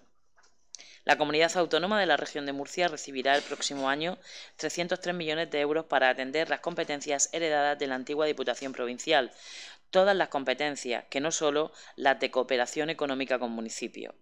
Entre ellas cabe destacar competencias directas en sanidad, carreteras y otros muchos gastos que asume la comunidad en su condición de autonomía uniprovincial, aquellos que se derivan de su título competencial, cuya delimitación viene fijada básicamente en el artículo 36 de la Ley de Bases de Régimen Local, modificado en su redacción por la LRS AL, coordinación de los servicios municipales, asistencia jurídica, económica y técnica, servicios de tratamiento de residuos para municipios de menos de 5.000 habitantes, cooperación en la prevención y extinción de incendios en los de menos de 20.000 habitantes.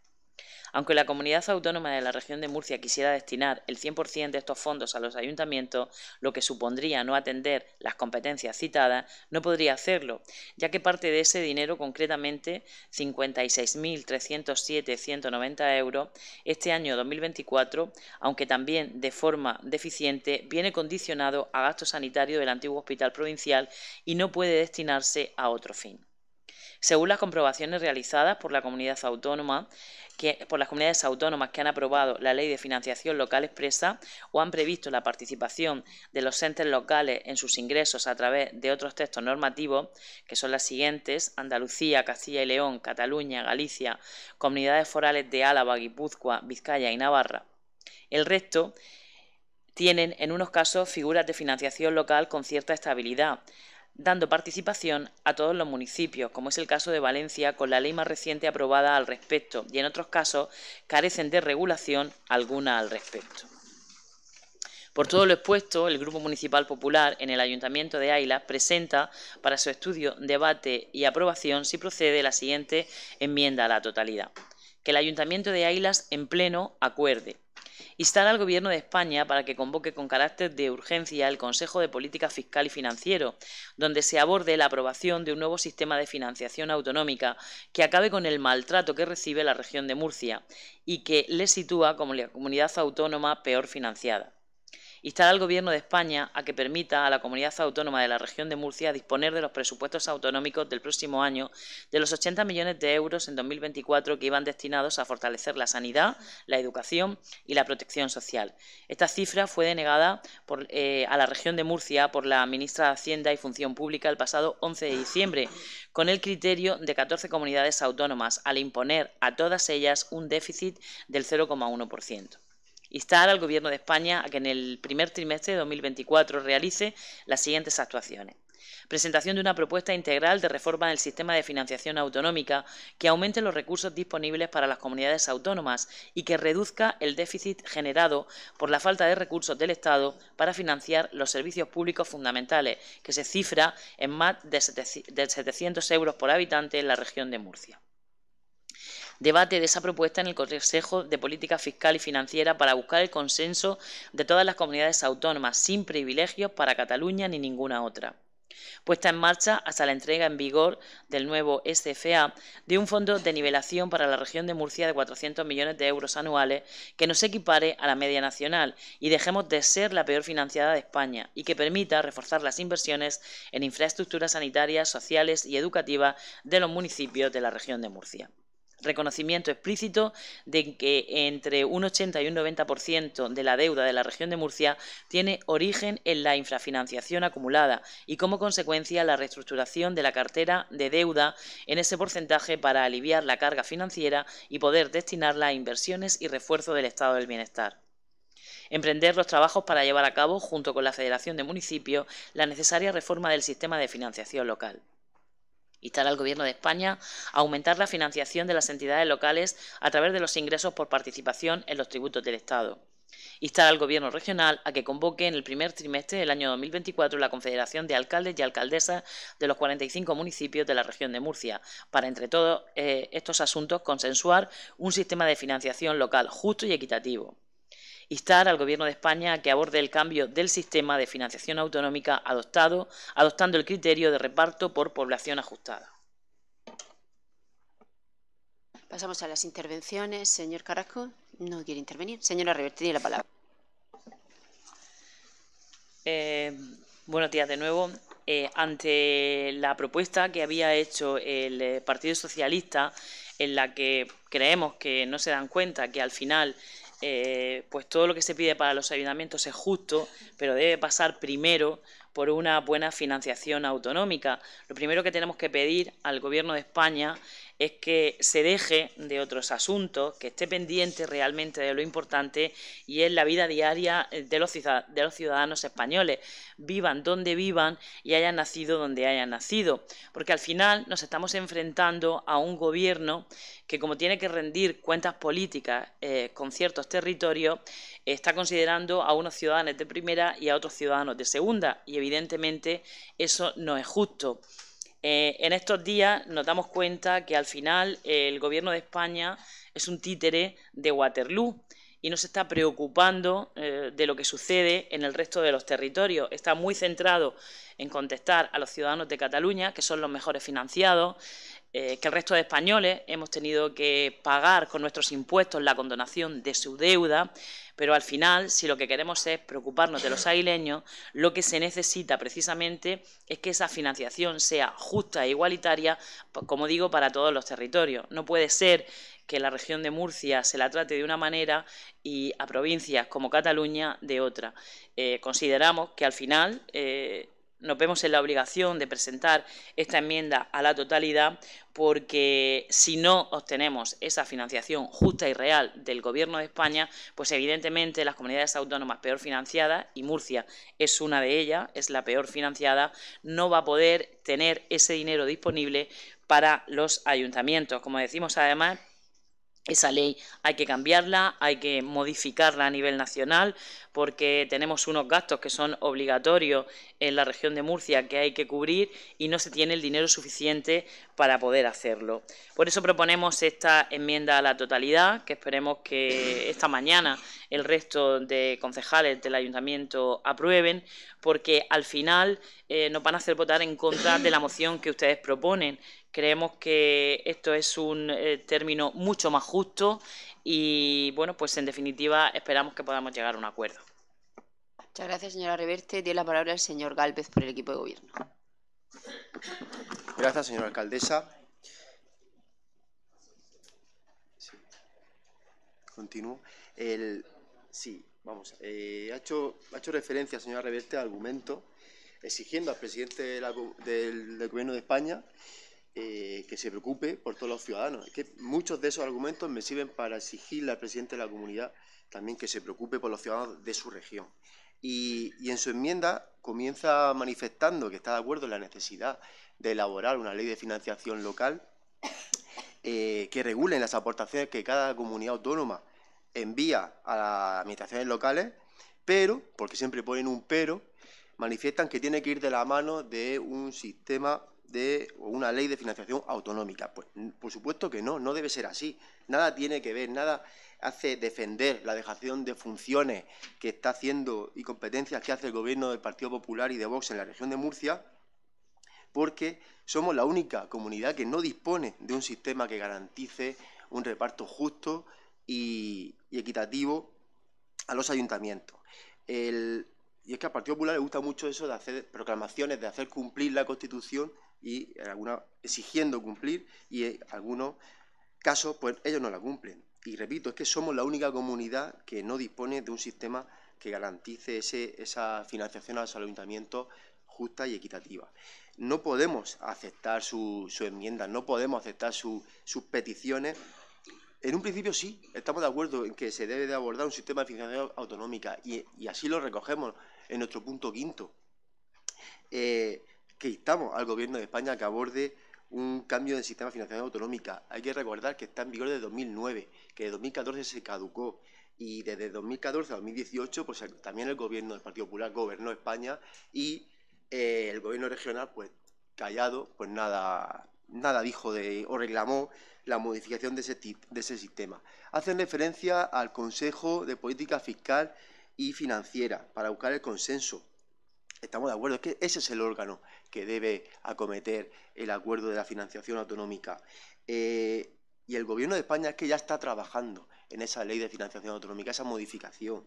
en, diciembre de 2021 envió a las comunidades autónomas una propuesta de modificación en base a población ajustada.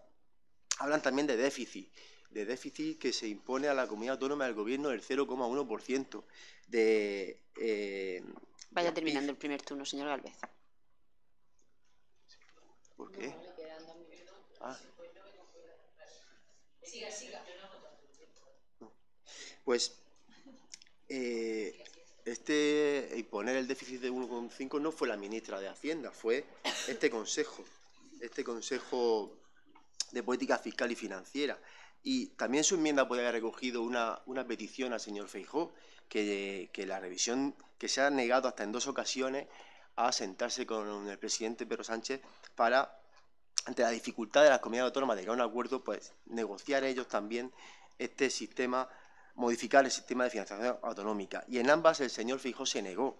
No le interesa eh, lo que le interesa a la región de Murcia, porque es lo contrario que le interesa a sus vecinos de su comunidad autónoma de Galicia. Por poner un ejemplo.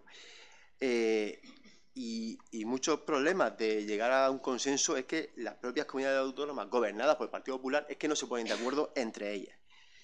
Otra petición de que no podemos dejar eh, de comentar es la petición al Gobierno de España de aumentar la financiación a entidades locales a través de los ingresos de participación de los tributos del Estado.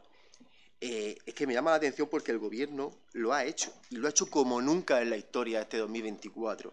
El pasado mes de diciembre la ministra eh, Montero anunciaba la mayor financiación de la historia de entidades locales, más de 28.000 millones de euros, un 22,6% más. Y aparte, en la participación, en la entrega esa cuenta, un 5% más, 23.700. Esto hace, la, como he dicho, la, mayor financiación de la historia a los ayuntamientos. Esto, esto es todo por el momento. Gracias. Muchas gracias, señor Galvez. Segunda intervención, señor Carrasco no va a intervenir. Señora Reverte, tiene usted la palabra en el segundo turno. Eh, señor Galvez, que usted me diga que esto no tiene nada que ver eh, con el gobierno de España y que el gobierno de la región de Murcia, de Murcia ha hecho una dejación de funciones, eh, debe reconocer que somos la comunidad autónoma peor financiada y si somos la comunidad autónoma peor financiada no debe de ser por una dejación de funciones del gobierno de la región de Murcia, sino por una dejación de funciones, si es que acaso las ha cogido, del gobierno de España de Pedro Sánchez. Usted hoy pues le ha tocado defender lo, indefendible, porque al final me dice usted que es que eh, el Partido Popular de la región de Murcia no cumple con la Constitución. Eh, o no le gusta cumplir, han sido sus palabras. Eh, yo lo que creo es que al Partido Socialista no es que no le guste cumplir con la Constitución, es que directamente la está incumpliendo. Y bueno, pues a las pruebas me remito con todo lo que está pasando en nuestro país con la ley de amnistía. Eh, quien se está saltando la Constitución y está infravalorando a los ciudadanos de la región de Murcia es eh, el gobierno de Pedro Sánchez. Seguramente el papel que, le está pasando su compañera es para que hablemos de sanidad. Claro, si la sanidad en la región de Murcia eh, puede ser que no esté bien, pero es que la financiación que nos llega del Gobierno de España para atender como necesitarían eh, todos los ciudadanos de Águilas y del resto de la región de Murcia, como le decía anteriormente, no es la justa. Me dice usted que el señor Feijó es el que debería sentarse con el señor Sánchez. Es que el, señor Feijó, a pesar de haber ganado las elecciones, no gobierna este país.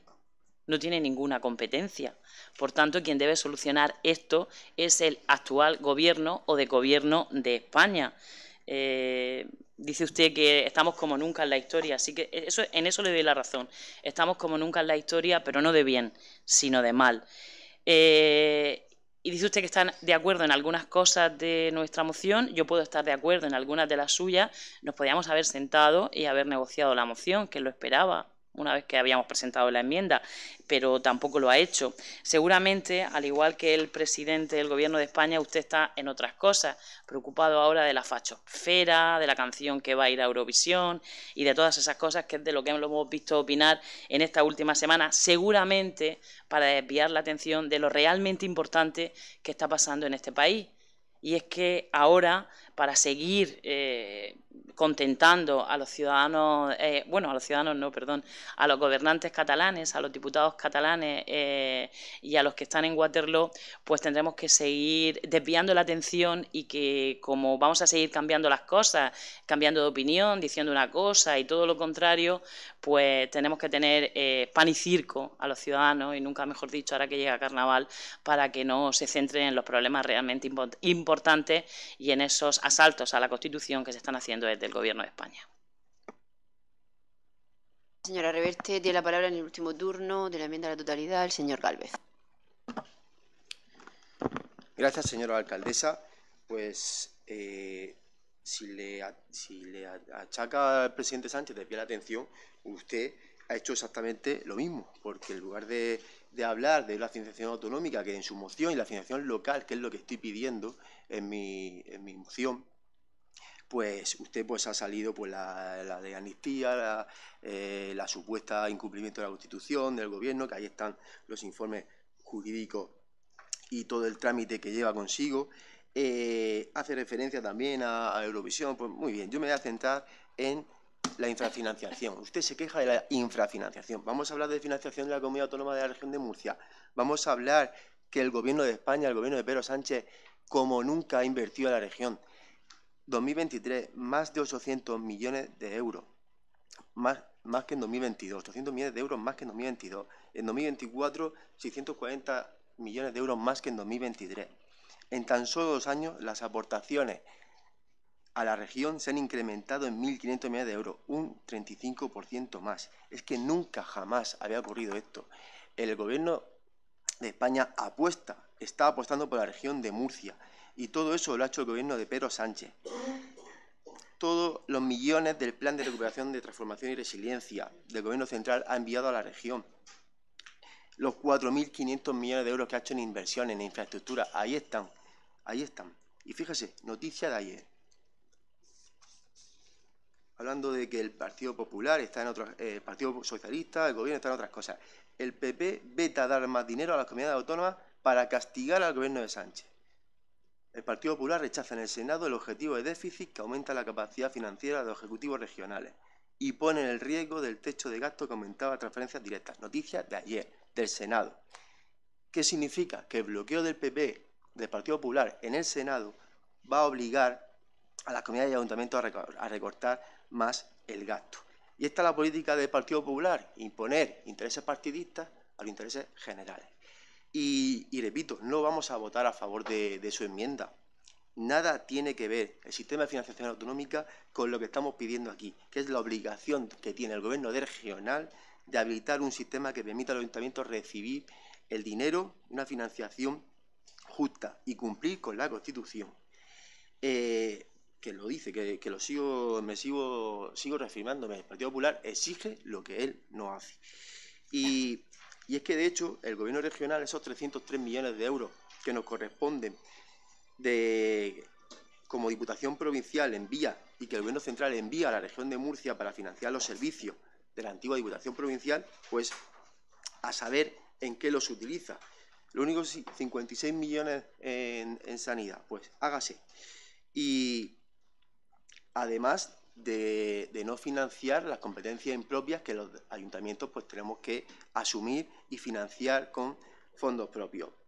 Lo que está claro es que, y en la siguiente moción se va también a debatir, porque tenemos que votar en contra de su moción, porque en algunos casos el Gobierno de España ya está apostando por la financiación en la región de Murcia. Todos los 45 municipios, todos de la región de Murcia, tienen derecho a, a la financiación y el gobierno del señor López Mira debe de ponerse manos a la obra y hacer y aprobar la financiación, una ley de financiación local. Ya, es urgente. Vaya vale. Vamos a votar la enmienda a la totalidad. Votos a favor de la enmienda a la totalidad del Grupo Popular. Votos en contra. Abstenciones.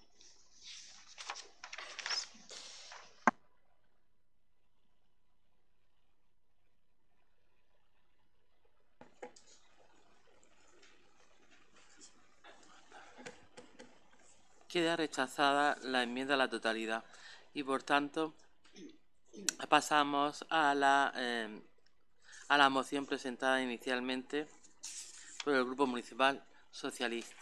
Tiene la palabra el señor Galvez para la lectura de la moción eh, presentada por el Grupo Municipal Socialista. Perdón. El artículo 142 de la Constitución Española establece que las haciendas locales deberán disponer de los medios suficientes para el desempeño de las funciones que la ley atribuye a las corporaciones respectivas y se nutrirán fundamentalmente de tributos propios y de participación en, los, del Estado y de las comunidades autónomas. La región de Murcia es la única comunidad autónoma que no tiene un sistema autonómico de financiación local. Los gobiernos regionales del Partido Popular se niegan sistemáticamente a reconocer que la financiación local es un derecho. Todas las comunidades autónomas tienen una ley de financiación local o un fondo incondicionado que permita un reparto equitativo y justo, dejando autonomía a los ayuntamientos sobre el destino de los fondos que le corresponden. Para los municipios y sus ciudadanos y ciudadanas es imprescindible que el Gobierno regional cumpla la Constitución y que desvincule la financiación local de la financiación autonómica, puesto que nada tiene que ver la financiación autonómica con el hecho de que año tras año el Gobierno de López Mira no destine a los ayuntamientos el dinero que percibe la Comunidad Autónoma del Gobierno de España para financiar la Diputación Provincial. En el 2024 el Gobierno de España ha aumentado un 23% esta dotación, transfiriendo a la región de Murcia 303 millones de euros, que un año más López Mira no reparte entre los ayuntamientos, incumpliendo la finalidad de estos fondos. El Gobierno regional asfixia a los municipios, puesto que no los financia y por si fuera poco, son los ayuntamientos los que constantemente se ven forzados a asumir las competencias impropias.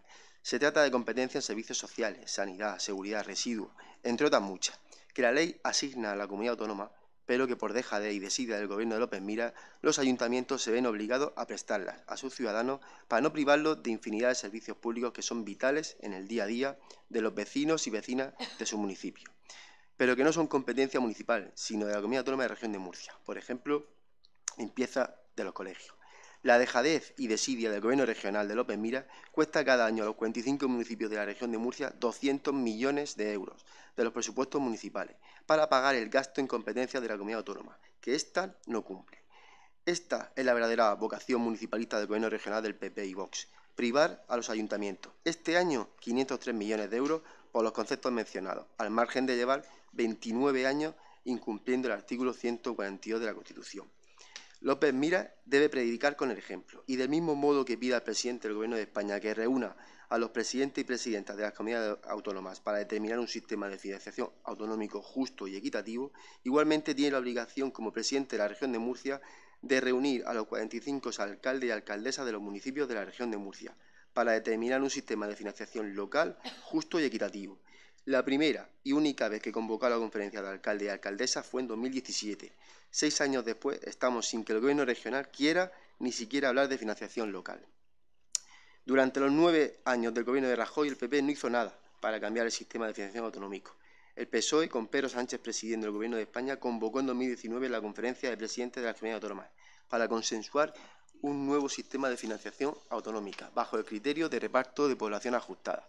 Fijó, entonces, como presidente de Galicia, se opuso, pero ahora ya no piensa igual. Es preciso que de nuevo se aborde el cambio de sistema de financiación autonómica conforme al criterio de población ajustada, puesto que dicho criterio es el que más consenso atesora entre las comunidades autónomas.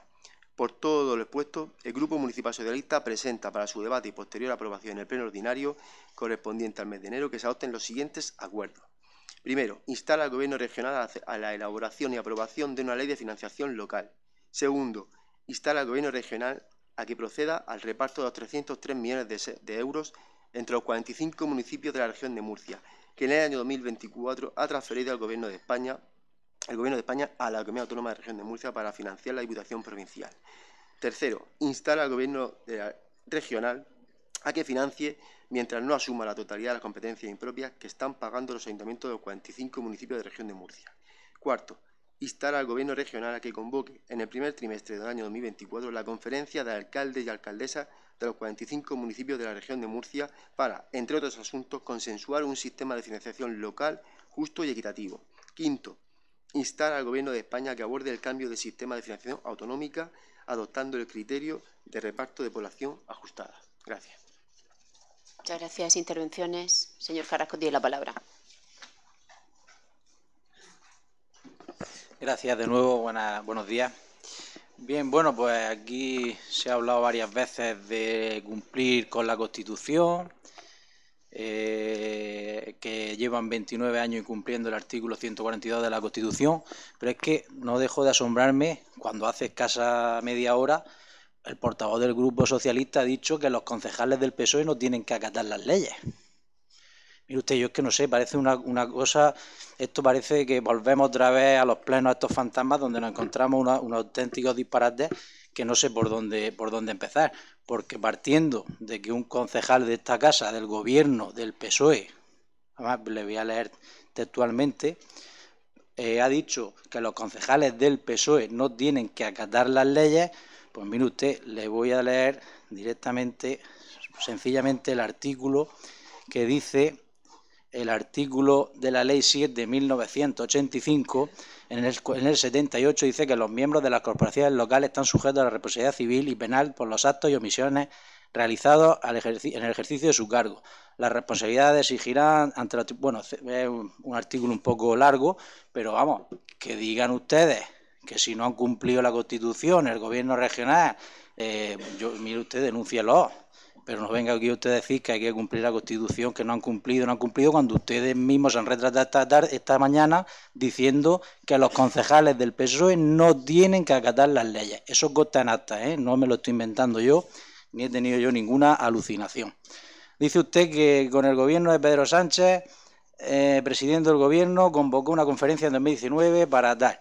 Pero si es que con, con Pedro Sánchez no se puede reunir nadie, si hoy dice blanco y mañana dice negro, pues si cambia de opinión en un cuarto de hora, si es que tiene menos credibilidad que, vamos, yo es que mm, esto la verdad es que volvemos a lo mismo, si es que la verdad que parece repetitivo, pero tenemos aquí una inseguridad pleno tras pleno, que vamos, que esto es que no da garantía de por ninguna de las formas. La enmienda a la totalidad del PP, pues estábamos estaba clarísimo que ustedes la van a, rechazar, no merece la pena ni perder tiempo en debatir. Como han podido ver, no he intervenido en ninguno de los dos turnos porque no merece la pena ni intervenir a algo que ustedes ya van a machacar, porque aquí solo se trata de instar al gobierno regional. Si la enmienda es del PSOE, o estar al gobierno de España si es del Partido Popular. Mire, usted le digo muy claramente, no creo yo que si más del 60% de los murcianos han votado un gobierno de PP y Vox, no creo que estén haciéndolo, no creo que más del 60% de los, por ciento de los murcianos estén en otro sitio o no vean lo que está pasando aquí. Más del 60% de los murcianos están viendo que el gobierno nacional infravalora a la, región de Murcia. Y están viendo que el gobierno nacional de Pedro Sánchez, bueno, por decir gobierno de Pedro Sánchez, porque Pedro Sánchez eh, tiene poco que hacer en ese gobierno, parece que manda más Puigdemont, porque Pedro Sánchez eh, con Cataluña no pone problemas para quitar deuda, No, con Cataluña se hace lo que haya que hacer para que nos den los votos para gobernar. Y usted ha hecho un discurso, la verdad que, mm, si yo soy Pedro Sánchez, tardaría poco en llevármelo de ministro. Se ha ganado hoy el puesto allí con Pedro Sánchez defendiendo lo indefendible, como decía la portavoz del Partido Popular. Pues eso es lo que estamos viendo aquí con esta, con esta moción que ustedes traen. Nosotros estamos de acuerdo en que se financie eh, que la financiación local sea la, que la que procede la que nos corresponde, que haremos el mismo tratamiento. Y la región de Murcia también, que haremos el mismo tratamiento que el resto de comunidades. Entonces, yo creo que procede instar al Gobierno de la Nación a que solucione el problema de financiación que tenemos en la, región de Murcia y, una vez que esté solucionado, vamos a pedir nosotros para aquí, para Isla pero a las cosas hay que empezarlas por su sitio. Y no se puede hacer demagogia diciendo que si no cumplen la Constitución, que si el gobierno de regional de PP y Vox, que si esto y si lo otro. Bueno, es que me ha sorprendido lo de que no cumple la Constitución, cuando es que yo es que no sé, vamos, yo no sé, luego cogeré la acta para releerla, pero que cuando ustedes hace nada y menos dicen que no tienen que acatar las leyes, pues yo es que no sé, es que hay que dar, hay que, hay que hay que el ejemplo hay que aparte de serlo hay que parecerlo. Y ustedes han dicho aquí esta, mañana que los concejales de personas no tienen que acatar las leyes. Yo creo que con eso queda todo dicho respecto a esta moción que ustedes plantean porque si ustedes no tienen que acatar las leyes pues yo no sé ya a lo que acogerme aquí para decidir nuestra postura en este voto. De momento nada más. Bien antes de continuar eh, está claro que si lo ha dicho ha sido un lazo no tiene por qué conocer las leyes. Que coste en acta que sí pero Perdón, perdón. Estoy, estoy en esa palabra. No tiene por qué conocer las leyes, ha sido un lazo, no tiene por qué no, perdón, no tiene por qué conocer las leyes, ¿vale? Si no son jurídicos, pues no tenemos por qué conocer las leyes y para eso están los servicios jurídicos del ayuntamiento. Aclarado esto, eh, tiene el turno de intervención la señora Reverte por el Grupo Popular.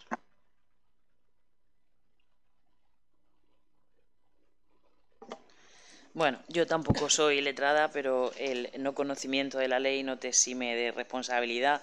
Eh, hemos visto también que el señor portavoz del equipo de gobierno está muy fino para echarle la culpa a los servicios jurídicos municipales. En cualquier caso, vamos a lo que nos ocupa, que es la moción de la financiación local a los ayuntamientos. Eh, yo he de reconocer que sí me merece la pena debatir, que sí que me merece la pena eh, presentar alternativas, porque estoy aquí para trabajar junto a mis compañeros eh, por los aguileños que no votaron y por los que no. Y por eso creemos que es necesario presentar alternativas cuando algo consideramos que no se está haciendo bien.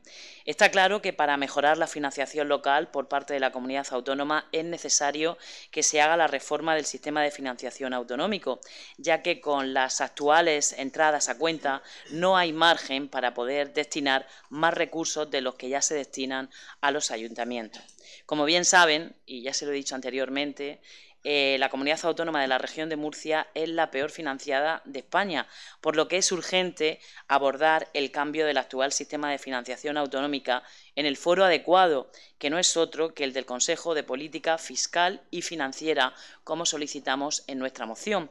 Que, por cierto, ustedes reconocen que estamos mal financiados. El punto quinto de su moción eh, no es para criticar a López Miras como el resto de la misma. En el punto quinto, ustedes hablan de instar al Gobierno de España a que aborde el cambio del sistema de financiación autonómica adaptando el criterio de reparto por población ajustada. Eh, he de decirle que en base a ese quinto punto es, lo que, es en lo que debe basarse la moción, que es lo que nosotros hemos hecho con esa enmienda a la totalidad basarnos en ese principio de financiación justa para todos los ciudadanos para poder desarrollar el texto. Eh, está claro eh, que por lo que hemos visto en las últimas semanas y tal como se ha plasmado en el acuerdo de investidura de Sánchez, el PSOE prefiere llegar a acuerdos bilaterales con independentistas y prófugos de la justicia que preocuparse por todos los españoles, para que todos seamos españoles de primera y no seamos españoles de diferentes categorías, porque por supuesto los murcianos para Pedro Sánchez, ese que usted defiende tan eufóricamente, nos considera ciudadanos de segunda o de tercera, no lo tendría claro. La región de Murcia pierde cerca de 2 millones de euros al día por culpa del modelo de financiación actual, que está caducado e injusto. Por eso lo primero que hay que hacer es abordar ese problema. Dos millones al día menos para los habitantes de la región de Murcia por la falta de voluntad del presidente Sánchez y con el silencio cómplice y sumiso del Partido Socialista, en este caso del de Aila, de estos 11 concejales que se encuentran hoy en este salón de pleno. Dos millones que se podrían invertir además de en sanidad, en educación, en política social, en una mayor financiación e infraestructuras para los 45 municipios de la región de Murcia porque las 17 comunidades autónomas y las 10 ciudades autónomas eh, del territorio español no están financiadas de la misma manera. El Gobierno regional realiza cada año un importante esfuerzo inversor en los municipios, del que después le pondré ejemplo. Un esfuerzo que en los últimos años está centrado en el blindaje de los servicios públicos y la reactivación de la economía. El Gobierno regional, no obstante, es plenamente consciente de las necesidades de los municipios, porque son necesidades compartidas que nos tienen que llevar a reivindicar conjuntamente a todos los representantes públicos de manera firme y, como digo, unida, la necesaria y urgente reforma del sistema de financiación autonómica que actualmente tenemos que por cierto, eh, cuando usted se prepare las mociones, eh, sépase bien la fecha. Mariano Rajoy no estuvo nueve años en el gobierno de España, estuvo seis. Eh, como conclusión, en esta primera intervención quiero decirle, pero bueno, es un dato que al final, pero que para, para que usted lo sepa. ¿Puedo continuar? Además, el Gobierno central tiene la potestad para aumentar la financiación a las entidades locales a través de los ingresos por participación de los tributos del Estado. En definitiva, que lo que pagamos todos, los aguileños, repercuta después también en todos nosotros. Tiene la palabra en el primer turno el señor Galvez. Gracias, señora alcaldesa. Mm, voy a comenzar, pues, eh, Estoy de acuerdo, señora Reverte, en que merece la pena debatir en el Pleno, que para eso es el órgano más importante de la corporación, y me sorprende que el señor Carrasco pues, tenga esa tan poca consideración que no merece la pena debatir. Usted tiene voz aquí, por supuesto, como todos nosotros, y, y, en mi caso no es defender lo indefendible, es que creo al 100% lo, lo que he dicho. Eh, continúo con el señor Carrasco y enseguida me pongo a analizar la, la moción, mi intervención. En la enmienda no habla de financiación y en la moción de financiación local habla de financiación autonómica. Pues es un detalle que me llama la atención. Eh, la moción que hoy que se trae es sencilla y es que mm, y espero por, de verdad contar con todos los, votos a favor. Y es que es una cuestión clave no solo para Águila, para todos los municipios de la, región de Murcia, absolutamente para todos. Eh, y nuestra moción es que no es un invento de, de. Eh, lo que se pone de manifiesto hoy aquí es que la región es la única que no tiene desarrollada una ley de financiación local o un fondo incondicionado para gestionar esos recursos y esos fondos que, se destinan a los ayuntamientos y que el Gobierno central nos adjudica como Diputación Provincial. Eh, ¿Qué hace el Gobierno autonómico con, eso, con, con esos fondos? Lo que está haciendo el Gobierno autonómico es, vía subvenciones, pues hacer cumplir el expediente eh, limita a los ayuntamientos un destino o un uso y no deja a los, ayuntamientos, que sean ellos los que decidan y gestionen sus recursos y mejorar sus servicios. Porque son los ayuntamientos los que mejor conocen sus necesidades, eh, sus debilidades, dónde pueden mejorar, dónde necesitan invertir. Por eso es necesario y no perder ni un segundo más en elaborar una ley de financiación local, ni un segundo más. Y ¿Por qué? Porque con esa financiación local, ese dinero eh, destinado sin ningún tipo de condición a los ayuntamientos va a permitir pues, adquirir vehículos, reformar edificios, mejorar la vía pública, invertir en, saneamiento. Eh, si es que es así, no es que me lo invente, es que se está incumpliendo. No, no lo quiero repetir más, queda claro. Pero mm, sí que hacen referencia a la Constitución y ellos no. pero bueno, un ejemplo. Además de la necesidad, que es de justicia tener ese sistema de financiación local, eh, una muestra de la necesaria ley es dónde van a ir los 303 millones de euros que nos corresponden a la región de Murcia como Diputación Provincial. Eh, si nuestra región tuviera una desarrollada una ley de financiación local, esos 303 millones, con un criterio eh, en función de la población, eh, la región de Murcia tiene eh, una población aproximada de un millón y medio, un poquito más. La población de Aila el año pasado llegábamos a los 36.800 euros. La población de Aila representa un 2,3% de la población de la región de Murcia. Pues ese criterio de población ¿Saben cuántos millones de euros, millones de euros le correspondería al Ayuntamiento de Águila? Más de 7 millones. Un 25, un 21% del presupuesto que tenemos actualmente, 7 millones. Otro criterio, superficie, pues la superficie de Águila es muy similar con respecto al peso en, el conjunto de la región. Eh, kilómetros cuadrados de superficie es un 2,2, también 7 millones. ¿Se imaginan disponer de 7 millones de euros más al Ayuntamiento de Águila? Aumentar el, presupuesto del Ayuntamiento de Águila en 7 millones, llegando a los 40 millones. Vamos, yo como concejal de Hacienda estaría encantado. Poder destinar más dinero, más presupuesto a mejorar los servicios públicos y permitir, y permitir hacer grandes inversiones, pues no solo mm, beneficia a, los votantes, es que beneficia a todo el municipio, votantes del PSOE. No, no, no, es que a este, todo el municipio, todos nuestros vecinos y vecinas, todos los aguileños y aguileñas. Y porque una ley de financiación no beneficia a un partido o a otro, es que beneficia a los 45 municipios con todos sus partidos, con todos sus colores, a los 45 municipios de la región. Y si no votan a favor es que están negando ese reparto justo y necesario. Eso es todo por el momento. Muchas gracias, señor Galvez. Segundo turno, señor Carrasco tiene la palabra. Muchas gracias. Bien, la verdad es que me enorgullece lo que usted ha dicho, porque de todo lo que le he dicho anteriormente, parece ser que lo único que no le encaja es que no merece la pena debatir este debate, que es lo que yo he dicho anteriormente, le he dicho muchas más cosas, pero lo único que le ha molestado tanto a la concejal del PP como al del PSOE es que he dicho que no merece la pena debatir este tipo de debate. Mire usted, lo mantengo, no merece la pena debatir dos veces lo mismo cuando ya estamos acostumbrados a la enmienda a la totalidad, tanto de uno de otro, que como ustedes tienen la mayoría absoluta, pues, la, pues salgan su, su, moción adelante. Por eso yo intervengo una vez eh, o dos veces en lugar de cuatro, puesto que la verdad es que hacerle perder el tiempo al aguileño en aguantar el tostón de los plenos, que muchas veces es un tostón, y eso son palabras textuales de los vecinos de Águila en la calle, que no lo digo yo, me lo dicen todos los días, con el dinero que cuestan los plenos, con los sueldos que tienen ustedes, con lo que cobran ustedes, los concejales de la oposición cobramos bastante menos, la mayoría, por lo menos los de Vox y algunos del PP, y que esté aquí preocupado porque yo he dicho que no merece la pena debatir este asunto. Claro que no, dos veces, cuatro veces lo mismo, pero si es que eso cansa a cualquiera para llegar al mismo fin.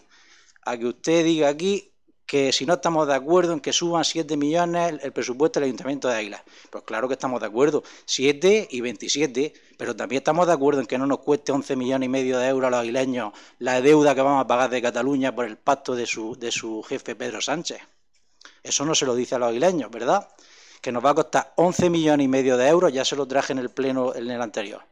La deuda de Cataluña que vamos a pagar del bolsillo de los aguileños. Entonces quiere usted pedirle 7 la verdad que es un arreglo buenísimo. Ya solo nos quedan cuatro y medio. Ya solo tienes que pagar los aguileños cuatro y medio para el pacto de Pedro Sánchez con Puigdemont para seguir en el gobierno y ser, y ser en la región de Murcia la, región peor financiada de toda España. Hay que decir las cosas como son, porque luego esto se habla en la calle. Entonces, qué bonito queda. Los concejales de la oposición no están de acuerdo en que nos den 7 millones de euros a Águilas. Claro que estoy de acuerdo. Ya se lo he dicho, 7, no, 27 pero tampoco estoy de acuerdo, y ustedes sí estuvieron de acuerdo, que así lo votaron, en que nos cueste 11 millones y medio de euros el pacto de su jefe Pedro Sánchez con los catalanes, con, Puigdemont, para conseguir sus votos para estar en la Moncloa. Ya no hablo de con todos los otros que ha pactado, que es más que conocido, de Bildu y etcétera, y nacionalistas y todo eso. Entonces, señor Galvez, yo creo que aquí hay que hablar claro y no hacer perder el tiempo a los aguileños y decirle las cosas, pero todas, hay que decirlas todas. Yo reconozco que no voy a votar aquí a favor de esta, aunque usted lo argumente que son 7 millones de euros más, sí. Vote usted en contra de que nos cueste 11 millones de euros, 11 y medio millones de euros a los pagar la deuda de Cataluña. voten ustedes en contra de eso, que es más dinero. Si es que estamos perdiendo todavía cuatro millones y medio. Eso son matemáticas, ahí los números no fallan. Entonces yo creo que hay que ser responsable, sensato, acatar las leyes, que aunque haya sido, aunque haya sido un lapsus, la verdad que es que vaya lapsus, que los concejales del PSOE no tienen que acatar las leyes. En fin, en fin, tenemos que ser más serios, más responsables y de ahí, de ahí lo que he dicho anteriormente de que no merecía la pena perder tanto tiempo en estos debates, pues lo, mantengo. Yo en los plenos traigo todo lo que tengo que traer, traigo propuestas, nuestros concejales traen propuestas, traen ruegos, traen preguntas. No han quitado la mayoría de las competencias al pleno, se las llevan a la Junta de Gobierno con errores, como hemos podido ver en el anterior punto, pero sí, la libertad de expresarnos, claro que no nos la van a quitar ni la vamos a perder, faltaría más. Algunas veces intentan quitárnosla, pero no, no, hasta ahí todavía no hemos llegado ni lo vamos a permitir, por supuesto. Y nos expresaremos donde sea conveniente y donde sea interesante y sea un beneficio para el pueblo, no donde decir abiertamente que no queremos 7 millones, pero que sí queremos pagar once y medio, eso, eso no lo dicen, ¿vale? Nada más. Señor Carrasco, señora Reverti tiene la palabra en el segundo turno. Eh, gracias. Eh, pues sí que es cierto que no se preocupe, señor Carrasco, que no me molesta lo, lo que ha dicho, no me, no me he molestado. Eh, pero sí que es cierto que, que, como le decía antes, y también ha dicho el, el concejal de, de Vox, al final pues sí nos podíamos haber ahorrado este segundo debate, esta segunda ronda de intervenciones, si ustedes hubieran aceptado nuestra propuesta, porque al final todos estamos reconociendo que la financiación que tenemos del Gobierno de España no es justa. Usted ha intentado defender también diciendo eh, el dinero que nos han enviado eh, con los fondos europeos, pues estaría bien que ese dinero no nos hubiera llegado. Eh, también se queja usted del dinero que nos viene de la región de Murcia. Si hubiera sido por su partido, pues no nos hubiera llegado ninguno porque votaron en contra de esos presupuestos. Eh, yo les invito a que ustedes hagan también un mejor presupuesto local y así el dinero de los aileños, eh, el que pagamos directamente a impuestos locales, pues estaría eh, mejor invertido. El Gobierno de la región de Murcia invierte en nuestra localidad actualmente más de 15 millones de euros sin contar el dinero que viene para educación o sanidad mm, directamente, para, para esos sueldos.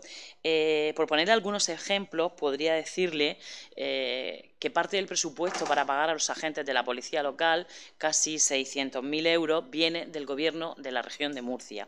Que la atención temprana en Aila recibe 40.000 euros del gobierno de la región de Murcia. Que las prestaciones básicas de servicios sociales, eh, casi 500.000 euros, vienen del gobierno del señor López Miras. Que lo que se invierte en el plan de obras y servicios el arreglo de las calles que tienen los ciudadanos aileños es gracias al gobierno del señor López Mira, que invierte 230.000 euros en el último plan de obras y servicios en Aila. Eh, que hay una subvención de más de 2 millones de euros para las residencias de nuestra localidad del gobierno de López Mira que la ayuda a domicilio, eh, que supera el millón de euros, viene del gobierno de la región de Murcia. Eh, en definitiva, eh, ¿que podría venir más dinero? Pues por supuesto que sí, si eso es lo que queremos, si eso es lo que le hemos planteado en nuestra moción. Pero lo que tenemos que decirle, señor Galvez, es que vamos a votar en contra de la que ustedes nos proponen porque ustedes empiezan la casa por el tejado. Quieren que el gobierno de la región invierta más dinero cuando el gobierno de España no le da más dinero al gobierno de la región de Murcia. Cuando Pedro Sánchez se desocupe de esas ocupaciones tan importantes que tiene ahora con su ley de amnistía, con condenar la deuda a los separatistas catalanes y con el Festival de Eurovisión y si la canción es correcta, nos gusta o no nos gusta, cuando se desocupe de esas cosas y se centre en ajustar una financiación eh, adecuada a las comunidades autónomas, entre ellas la nuestra, porque somos murcianos y somos los peores financiados, pues el gobierno de la región de Murcia, el gobierno del señor López Mira, podrá dar más dinero a los ayuntamientos, que en definitiva es lo que queremos todos. Muchas gracias, señora Reverte. Señor Galvez, tiene la palabra en el último turno. Gracias, señora alcaldesa. Eh, voy a comenzar mi intervención como ha acabado la primera. Es que si no apoyan esta, moción, y lamento, es que están negando un reparto. El dinero está. No es que necesita la región de Murcia eh, que le mande más dinero al gobierno central, no, no, es que ya le manda. Pero ese dinero no lo reparte. Ese es el problema, que no lo reparten. No, no está, está castigando a nuestro pueblo y a todos los municipios. Ha hecho referencia a eh, la aportación que hace el gobierno de la región de Murcia a la policía local. eh, bienvenido sea. Es que cada año, de cuando, cuando se crearon esa, esa ayuda para reforzar la seguridad eh, local, es que cada año recortan, cada año un poquito menos y cada año un poquito menos, cuando fue la región de Murcia el que financió y al final está pagando eh, el Ayuntamiento de Águila y todos los municipios, porque la aportación es cada año, la aportación municipal propia es cada año más y más. Y habla de atención temprana, servicios, eh, servicios sociales, atención temprana, servicios sociales, ayuda a domicilio, competencias de la región de Murcia, que, por desgracia, eh, están infrafinanciadas porque el ayuntamiento aporta mucho más en todos estos servicios asumiendo competencias impropias. Y repito, es que tiene que quedar claro, no elaborar una ley de financiación local es seguir castigando a nuestro pueblo y a todos. No repartir esos fondos, que los fondos están con un criterio, el que sea, pero que se repartan, que llegue el dinero a los ayuntamientos, que sean ellos los que decidan dónde invertir. Y, y seguir castigando al pueblo de Águila. Eso es la política del gobierno regional. Y vamos a hablar también, vamos a hablar también de los presupuestos de la comunidad autónoma de este año 2024 del Partido Popular y de Vox. Eh, y esos presupuestos de 2024 pone manifiesto la necesidad aún más de la ley de financiación local. ¿Saben la inversión del gobierno de PP y Vox en Isla en 2024? 2,8 millones. De 2023 a 2024 se reducen en más de 5 millones y medio.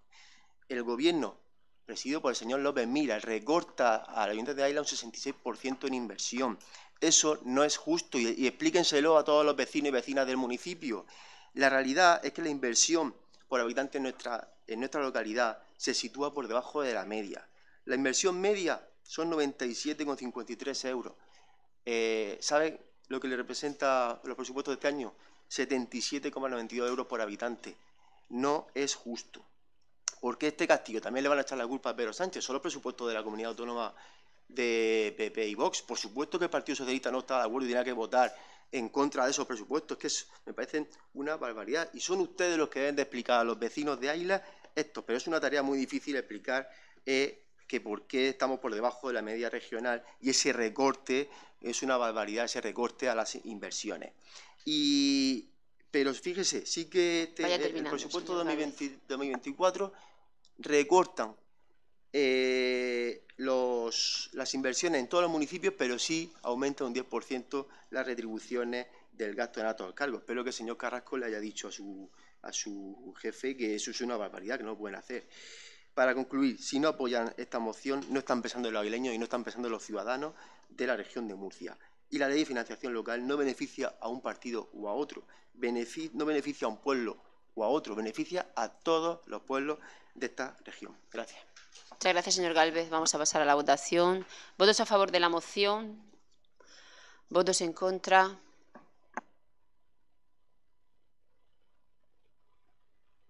Queda aprobada la moción. Punto número 11 del orden del día. Aprobación si procede la moción del Grupo Municipal Popular para dotar el Centro Integral de Atención a la Mujer de Águila de los medios, recursos y personal necesarios para atender a las usuarias. Tiene la palabra la misma doña Rosa María Soler Méndez, concejal, concejala del Grupo Municipal Popular. Buenos días. El Centro Municipal de la Mujer de Águilas es un servicio que ofrece el Ayuntamiento de Águilas a través de la Concejalía de Igualdad y que se implantó en nuestro municipio en el año 1997.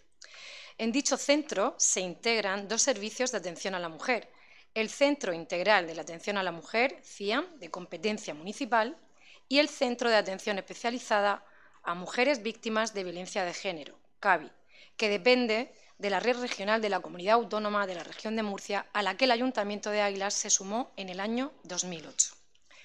Ambos servicios están en continua comunicación y coordinación, pero responden a necesidades muy diferentes, partiendo de la base de que tanto el personal como la fuente de financiación son distintos en ambos casos.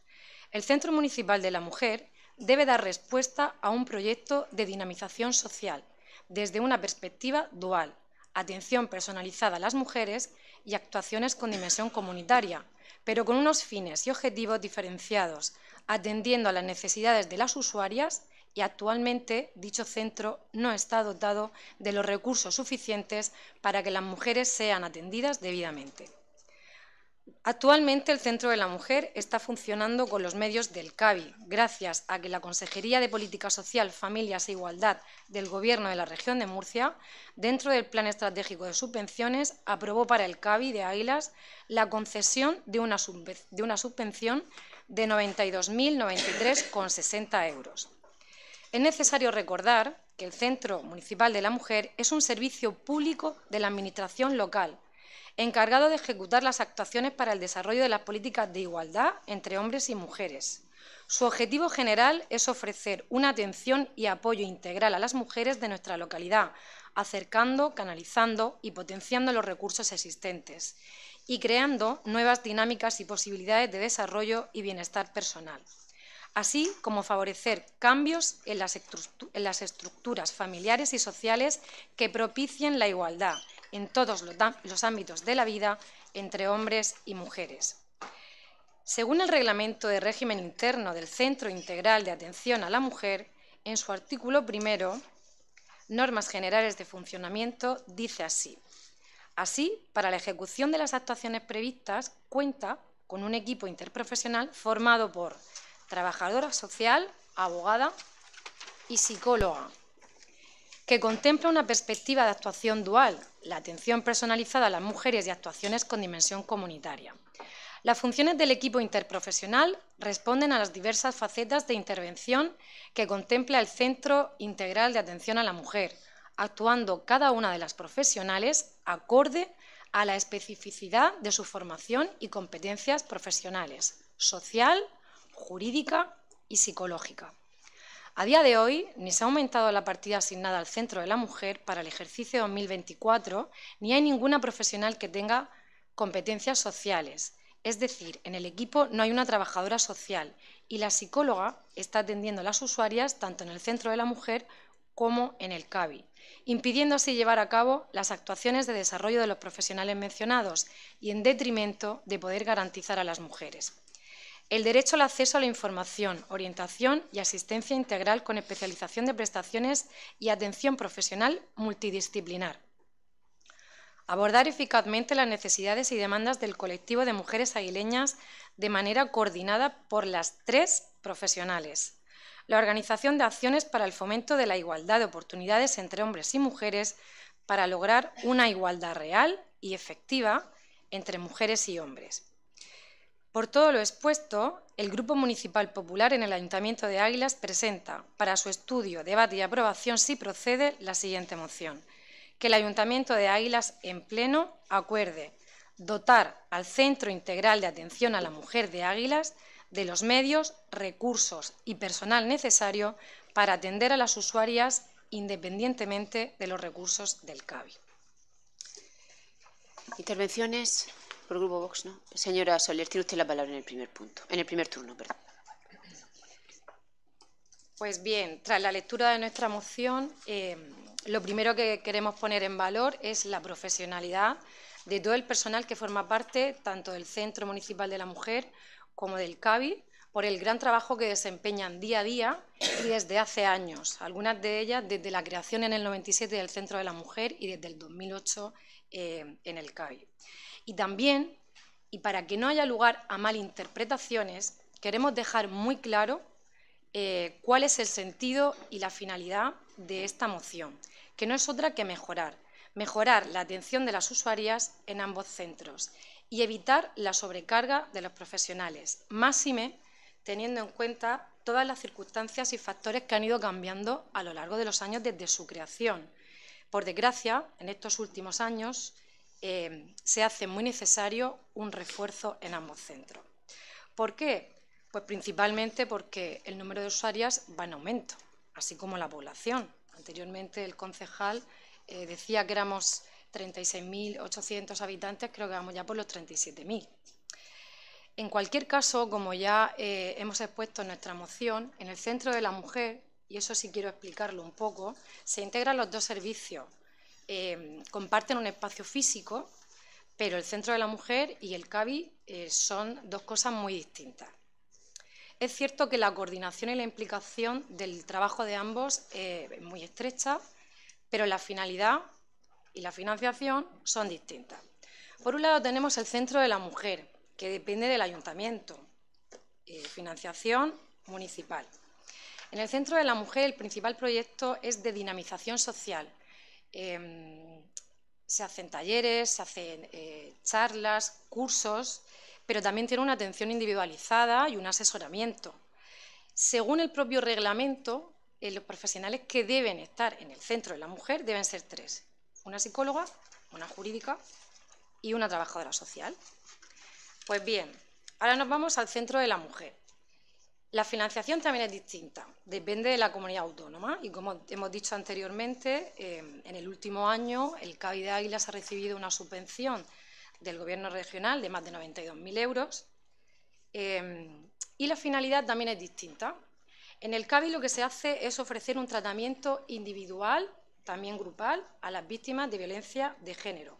Se le ofrece un apoyo y atención integral a través también de una psicóloga, una trabajadora social y una jurídica. ¿Qué ocurre? Pues que coinciden en ambos centros los personales que atienden a las mujeres que, que aquí asisten. ¿Qué ocurre? Que en vez de que cada centro tenga sus propios recursos y personal, lo que se traduciría en un mejor servicio a las usuarias, pues el Centro Municipal de la Mujer funciona con los medios del CABI, es decir, en definitiva con la subvención que recibe del gobierno regional. Eh, aquí es un poco un yo invito y tú pagas. Por tanto, em, aquí parece que la aportación, en este caso, eh, de recursos es bastante nula. Eh, falta personal. En el Centro de la Mujer actualmente no hay trabajadora social no es que no haya profesionales sociales, sino que no hay trabajadora social. Em, como ya sabemos, la anterior se jubiló, está pendiente de que se cubra esa plaza. Y la psicóloga es compartida en ambos centros. Eh, atiende a usuarias y la psicóloga eh, también se dedica a la organización de acciones para el fomento de la igualdad. Y esto queremos dejarlo claro porque al final, con el personal que tenemos, eh, ellas hacen mucho más de lo que deben. Eh, y esta reivindicación no es, de ahora, esta reivindicación viene desde hace varios años. En resumen, lo que queremos dejar claro es que los medios del Centro de la Mujer son insuficientes. Entonces aquí, como tenemos que arrimar todos el hombro, eh, pues el ayuntamiento debería aportar los recursos necesarios para que no haya esa sobrecarga de trabajo. Em, por ponerles un ejemplo, en el centro de la mujer ni siquiera hay una base de datos. No tienen una base de datos donde puedan recoger la información, todo el trabajo que se hace. Entonces, al final, pues el trabajo sale adelante gracias a estas profesionales, porque por mucha voluntad que le pongamos a esto, si no tenemos recursos, es imposible. Gracias. Gracias, señora Soler. Le va a responder en, en el primer turno la señora Casado.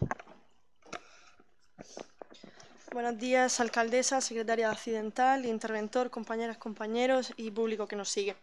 Bueno, en primer lugar, expresar que no entiendo el, desprestigio continuo de los servicios públicos municipales. Este pleno ha tocado hacer referencia al centro de la mujer, pero es recurrente ver cómo la oposición no es capaz de valorar de forma positiva nada. Y ya no voy a pedir que nos feliciten. Es curioso además en este área porque la evolución de las políticas de igualdad en el municipio de Águilas son más patentes que nunca. Gracias, por supuesto, al, gran trabajo que hacen las técnicas de la concejalía y también a la, inversión y, al interés de este equipo de gobierno. Me supo muy mal cuando leí la moción y me supo muy mal por dos motivos. Eh, en primer motivo, por, por las profesionales del área, por lo que decía anteriormente, por el desprestigio y también eh, por cómo son ustedes capaces de, faltar a la verdad. Faltar a la verdad y manipular la situación. Ustedes literalmente redactan en la moción, actualmente el Centro de la Mujer está funcionando con los medios de CABI. ¿De verdad? Me planteo que o ignoran la realidad o, como digo, faltan a la verdad. Y siguen diciendo literalmente en la moción, que funciona gracias a la Consejería de Política Social, Familia e Igualdad del Gobierno de la región de Murcia, que concede una subvención de 92.093,60 euros. Yo entiendo que tengan que alabar al gobierno regional del Partido Popular y de Vox, pero se les olvida decir que esos fondos provienen del Ministerio de Igualdad transferidos por el Pacto de Estado. Y estamos súper agradecidos con que el gobierno regional reciba esos fondos y los destine a los CABI. Y ojalá y se aumente y se blinde y sea para siempre. Pero no nos podemos olvidar de que esos fondos provienen del gobierno de España y que son únicas y exclusivamente para personal. Y digo esto porque ese personal, como no podría ser de otra manera, se encuentra en un espacio municipal, lo que supone un coste, lógicamente. Y para poder desarrollar acciones, además de que con los fondos del Pacto de Estado se nos transfiere, que, que se nos transfiere a los ayuntamientos directamente, también se utilizan fondos municipales y recursos municipales. Por tanto, como digo, o se ignora la realidad o se falta la verdad. Así que esto de vive Gaby del centro de la mujer o el centro de la mujer vive de Gaby, yo creo que pierde el sentido y roza el absurdo. Son dos servicios totalmente diferenciados, como bien dice, y, sabe diferenciar, por supuesto, que conviven en un mismo espacio y que comparten profesional, en, eh, profesionales, en este caso la psicóloga, por motivos obvios y porque es que además es positivo y puede hablar con, las técnicas de, de CABI y de Centro de la Mujer. Es que la primera puerta del centro es el centro de la mujer y en muchos casos no llegan como usuarias de CABI. Es decir, no llegan como mujeres víctimas de violencia de género, pero se detecta y se deriva.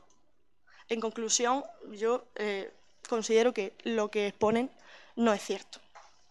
Por otro lado, también eh, dicen literalmente en la moción, a día de hoy ni se ha aumentado la partida asignada al Centro de la Mujer para el ejercicio de 2024, ni hay ninguna profesional que tenga competencias sociales. Pues o se ignora la realidad o se falta la verdad, porque es bajo el mandato de la alcaldesa cuando pasa el presupuesto de la Concejalía de Igualdad de 25.000 euros a 30.000 euros en 2021. Pero es que en 2022 vuelve a subir a 35.000 euros y en 2023 vuelve a subir a 38.000 euros. Supone más de un 50% del presupuesto. Por tanto, decir que de 2023 a 2024 no se ha aumentado, pues yo creo que roza la demagogia, porque hay un gran incremento en los últimos años presupuesto que se considera suficiente gracias también a que nos vienen otros fondos del Gobierno de España para poder desarrollar otras cuestiones que antes se tenían que asumir. Por ejemplo, las escuelas de, verano y de días no lectivos.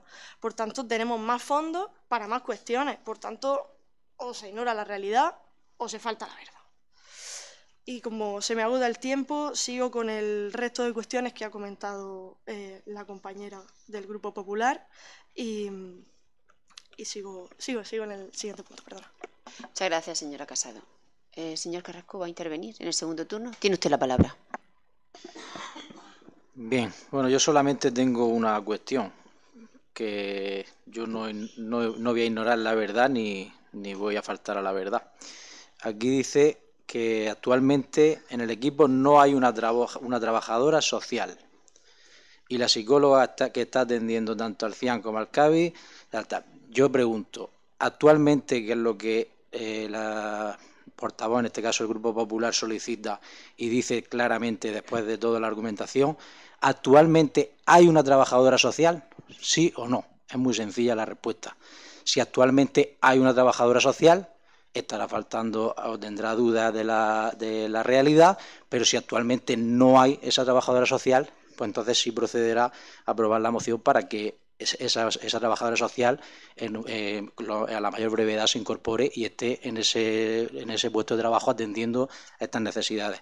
Por lo tanto, yo no me voy a decir si alguien falta la verdad o no falta, lo que sí quiero que aquí podamos hablar claro, si está a día de hoy esa trabajadora social o no. Con esa respuesta no es suficiente. Gracias. Muchas gracias, señor Carrasco. Señora Soler, tiene usted la palabra. Bueno, en primer lugar, decirle a la señora Casado que en ningún momento se ha desprestigiado profesionalmente a nadie. Al contrario, porque precisamente he hablado con algunas de las técnicas y lo que me han transmitido es que hemos tenido unas semanas y meses que han sido caóticas, donde a gente que quizás ni, ni le competía tenía que hacer un trabajo que no era suyo. Entonces, como bien dice el portavoz de Vox, no está la trabajadora social, eh, ¿Ahí estamos faltando a la verdad? Yo creo que no. ¿Tenemos base de datos en el centro de la mujer? Yo creo que no. ¿Usted cree realmente que con los medios que tenemos es suficiente para la cantidad de habitantes y de usuarias que cada año van aumentando, por desgracia? Pues sí, pues porque resulta que el centro de la mujer eh, tiene una labor que va cambiando. Anteriormente eh, se, tenían un perfil de usuaria muy definido, era una mujer de una determinada edad que había sido ama de casa y que necesitaba un entretenimiento y se le apoyaba, se le asesoraba, era una manera de suplir un poco la soledad no deseada. Pero es que resulta que todo este tipo de cosas van cambiando y esa soledad no deseada ya no solamente es en ese perfil de usuarias, sino que eh, precisamente ayer leí un artículo que los jóvenes entre 22 y 27 años están sufriendo precisamente eso. Por la sociedad en la que vivimos. Lo que estamos diciendo, señora Casado, es que por el cambio de circunstancias y factores esto hay que reforzarlo. Que las trabajadoras no pueden hacer mejor su trabajo, es imposible. De hecho, algunas de ellas han estado haciendo horas que no le pertenecían, a pesar de que ahora últimamente se aprobó que se le van a ampliar, que se le van a ampliar las horas, pero esas horas las hacía porque mm, no le quedaba más remedio y porque quería sacar adelante su trabajo. Entonces, no me diga que estamos faltando a la verdad, precisamente cuando yo soy una persona que lo primero que hago es informarme. Si me equivoco, me equivoco, pero lo primero que hago siempre es informarme. Entonces, tómese esto como una crítica constructiva, que las cosas están cambiando.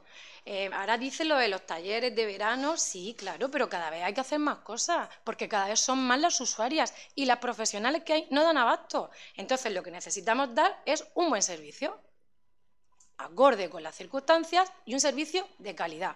Y para eso, pues las trabajadoras tendrán que ir con menos sobrecarga y las usuarias así podrán optar a más cosas, a más talleres, a más charlas, a, más excursiones, a, muchas más cosas. Y en definitiva es lo único que le quiero decir, porque aquí ¿qué aporta realmente el ayuntamiento? El espacio físico, una dotación de, me ha dicho, de 30.000 euros para este año, pero ¿eso es suficiente?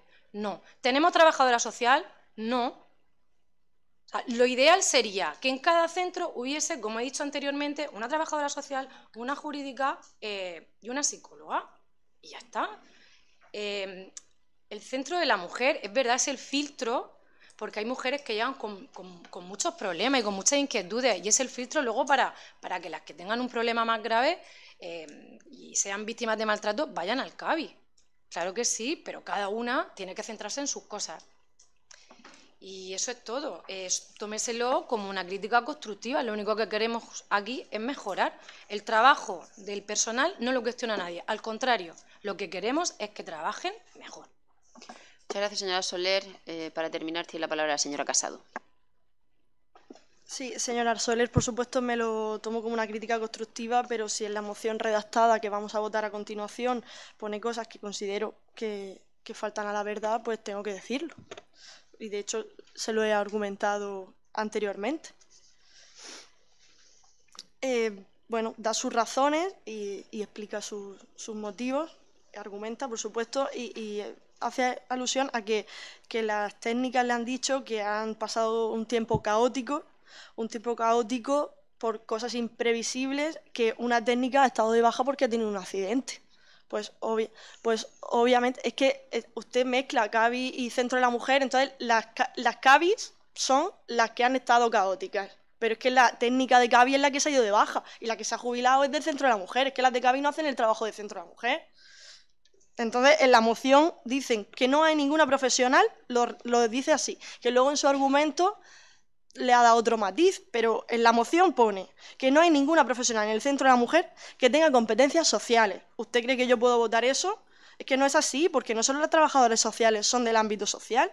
Supongo que lo, que lo saben, de hecho ha dado otro matiz, pero desde luego en su moción no lo recogen. La psicóloga del centro de la mujer no solo tiene figura de psicóloga clínica, desempeña funciones de psicóloga social. Un ejemplo similar, la psicóloga de, la directora de, servicios sociales es psicóloga, pero no es psicóloga clínica, es psicóloga social. Además, eh, esta psicóloga de CABI de Centro de la Mujer eh, pertenece a ambos centros y además hace ya unos meses que por fin, y estamos de enhorabuena, pues se consiguió la estabilización y el, el aumento de su contrato al 100% como personal del ayuntamiento. Todo el personal está al 100%. pero parece ser que ustedes no se alegran tampoco de esta mejora del servicio municipal y de que ahora esté al 100%. No lo mencionan, no lo mencionan. Entonces no sé si se alegran o no. Si lo que ustedes vienen a decir es que la trabajadora social se jubiló y que por eso se ha acabado el mundo, pues no, obviamente la echamos mucho de menos. Ha sido una gran profesional, y, pero sus compañeras de, Centro de la Mujer están sacando adelante el trabajo perfectamente y obviamente, obviamente el ayuntamiento tiene personal y se va a escribir una nueva profesional en un futuro muy próximo. Transitoriamente, durante estos meses, está asumiendo más carga la psicóloga y la abogada, hay que reconocerlo, se les agradece. Pero en ningún caso supone que las profesionales de CABI asuman las funciones de centro de la mujer, que es lo que usted dice en su moción. Además, las trabajadoras del centro de la mujer son grandes profesionales, con un gran sentido de la responsabilidad, metódicas en su trabajo y que en ningún caso van a permitir injerencias de las trabajadoras de CABI. Estoy segura de que, de que ninguna manera de que de ninguna manera van a cometer dejación de funciones como usted está dejando entrever en su moción. Así que nada más. Muchas gracias. Vamos a pasar a la votación de la moción. ¿Votos a favor de la moción del Grupo Popular? ¿Votos en contra? ¿Abstenciones? Ninguna.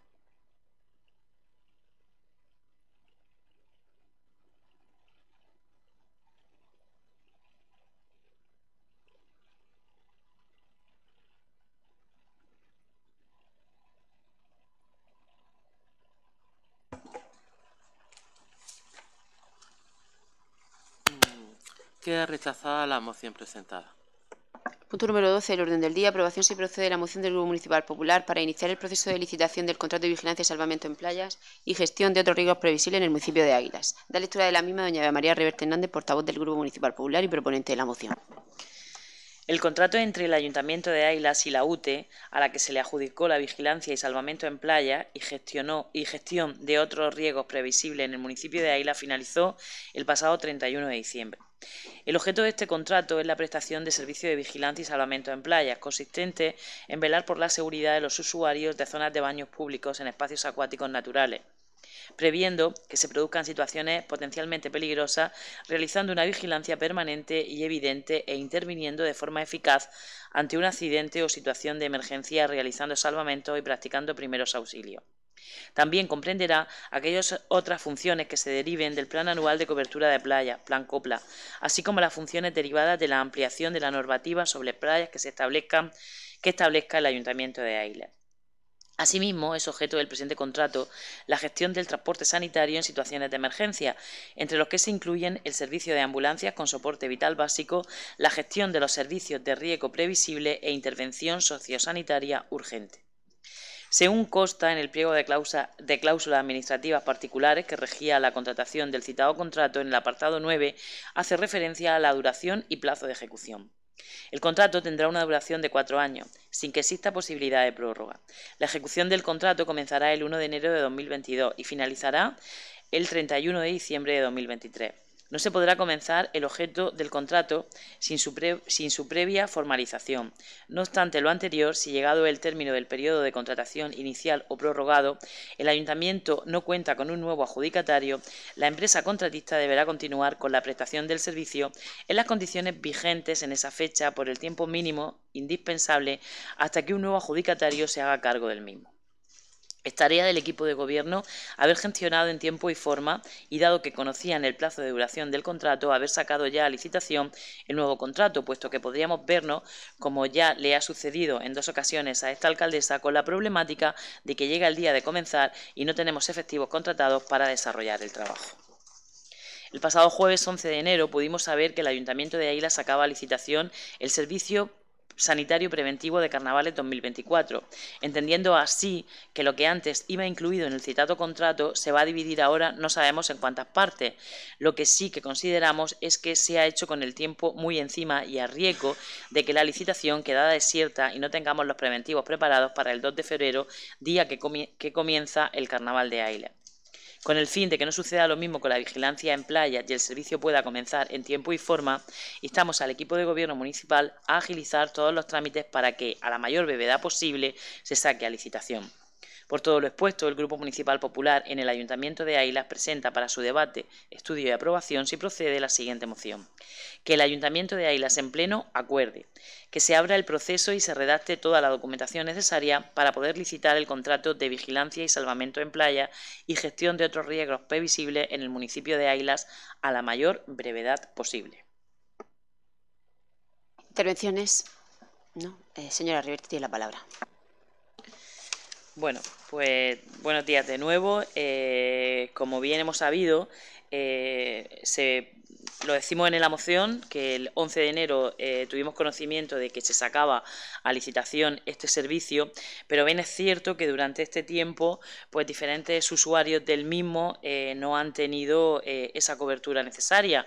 En este caso, asociaciones a las que pudimos comprobar en el presupuesto que se había aumentado la dotación que se les iba a dar, pero después hemos sabido que es porque, bueno, este servicio eh, pues ya no cuentan con él y ya no, no lo tienen disponible algo que nos parece que ya deberían de haberse ocupado no solo del contrato de vigilancia de salvamento en playa, sino también de esas coberturas sociosanitarias eh, para que las asociaciones las tengan cubiertas eh, desde ya. también es cierto que consideramos que han comenzado ustedes la licitación bastante tarde, puesto que según hemos podido saber a través de la moción, ustedes ya sabían que ese contrato iba a finalizar el 31 de diciembre y que como costaba en el mismo, no había opción a prórroga. Por lo tanto, ¿qué hubiera pasado si se hubiera quedado desierto? ¿Quién hubiera cubierto la seguridad de nuestros carnavales? Eh, porque eso podía haber ocurrido. Ha ocurrido en muchas mesas de contratación en las que o no se ha presentado nadie o las ofertas podrían ser temerarias y, en definitiva, eh, el hecho de que solo una semana antes de que comenzara el carnaval, el día 2 de febrero, y ese, ese plan tuviera que estar ya desarrollándose, pues hemos tenido la suerte, en este caso, de que una empresa se lo ha quedado, que en este caso ha sido Cruz Roja, de que ya tienen experiencia, que ya saben cómo funcionan y han podido ponerse en marcha, pero como decimos, los tiempos han sido bastante ajustados porque apenas han contado con cinco días hábiles antes de que comenzaran esos actos de carnaval. Eh, hemos tenido problemas en varias ocasiones, eh, hasta hemos tenido que ir al juzgado o han tenido que ir al juzgado eh, nuestros gobernantes por asuntos de licitación de este contrato que es uno de los de mayor envergadura de nuestro ayuntamiento al margen de los servicios de limpieza y de, y de jardines. Por tanto, consideramos que deben ponerse manos a la obra para licitar ya eh, los siguientes contratos, eh, no solo ya el de playa, sino como pudimos saber en la Comisión de, Asuntos eh, Generales, que nos lo dijo el propio portavoz, pues también el que va a cubrir todos esos eventos deportivos. algunos de ellos que han sido cubiertos ya con este contrato concreto de carnavales, pero creo que estamos hablando de algo de mucha envergadura, de mucho dinero y mucha importancia, sobre todo porque es tener seguro a nuestros ciudadanos. Gracias, señora Reverte. Tiene el turno señor Moreno Salas. Señora alcaldesa, señora secretaria accidental, señor interventor, eh, buenos días compañeros y compañeras y público que nos asiste, buenos días a todos. Eh, señora Reverte, eh, le contestó el 17 de agosto de, este año, bueno, el año pasado, perdón, 2023, personalmente firmé la propuesta de inicio del expediente para la contratación de los servicios de vigilancia y salvamento de las playas y otros riesgos previsibles, lo que se conoce, bueno, por, el monto más importante, el Plan COPLA. Ese expediente, el 5.966 de 2023, que está en curso, como bien sabe, eh, ese expediente, como le he comentado, contenía también la gestión de los riesgos previsibles, que es el dispositivo de ambulancia asociado a todos los eventos públicos que organiza el Ayuntamiento de Águila. Eh, durante la tramitación del expediente, por cuestiones lógicas de normativa, decidimos separarlos porque las dos cuestiones, tanto el plan COPLA como los dispositivos de riesgo previsible, vienen de normativas distintas, son cosas distintas y a pesar de ser cosas sociosanitarias relacionadas con la, con la seguridad de las personas, son cuestiones normativas distintas, decidimos separarlos para así trabajar y tener dos pliegos los mejores posibles para cada una de las cuestiones. Eh, posteriormente, eh, durante los meses de septiembre y octubre, estuvimos manteniendo reuniones con la empresa concesionaria que acababa el contrato en diciembre para recoger toda la información habida cuenta de, los años de desarrollo de, de, su función.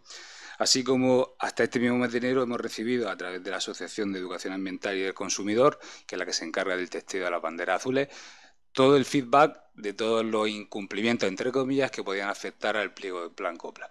Con todo eso, el objetivo, como ya le he comentado, es redactar el mejor pliego posible para el plan COPLA y el mejor pliego posible para los dispositivos de riesgo eh, sanitario, que son los que cubren la seguridad de salud de los participantes y los, y los espectadores de todas las pruebas deportivas, todos los festejos y el carnaval que se organizan desde el ayuntamiento. Centrándome en el plan COPLA, bueno, pues con todo lo que hemos recogido, ya hecho, uh, hemos terminado de recoger los últimos datos ahora en enero, el plan COPLA estará disponible en próximas fechas eh, para su licitación. Eh, por todo lo expuesto, claro, como ya le he comentado, eh, vamos a votar en contra de su, de su moción, porque no podemos instar a nosotros mismos a hacer algo que ya estamos haciendo. O sea, no podemos iniciar un expediente que ya hemos iniciado. No podemos trabajar en algo que ya estamos trabajando. Y bueno, eh, ya está. De momento, eh, mi primera intervención es todo. Gracias. Muchas gracias, señor Moreno Sala. Segundo turno, señor Carrasco, no intervenir. Señora Reverte, tiene la palabra.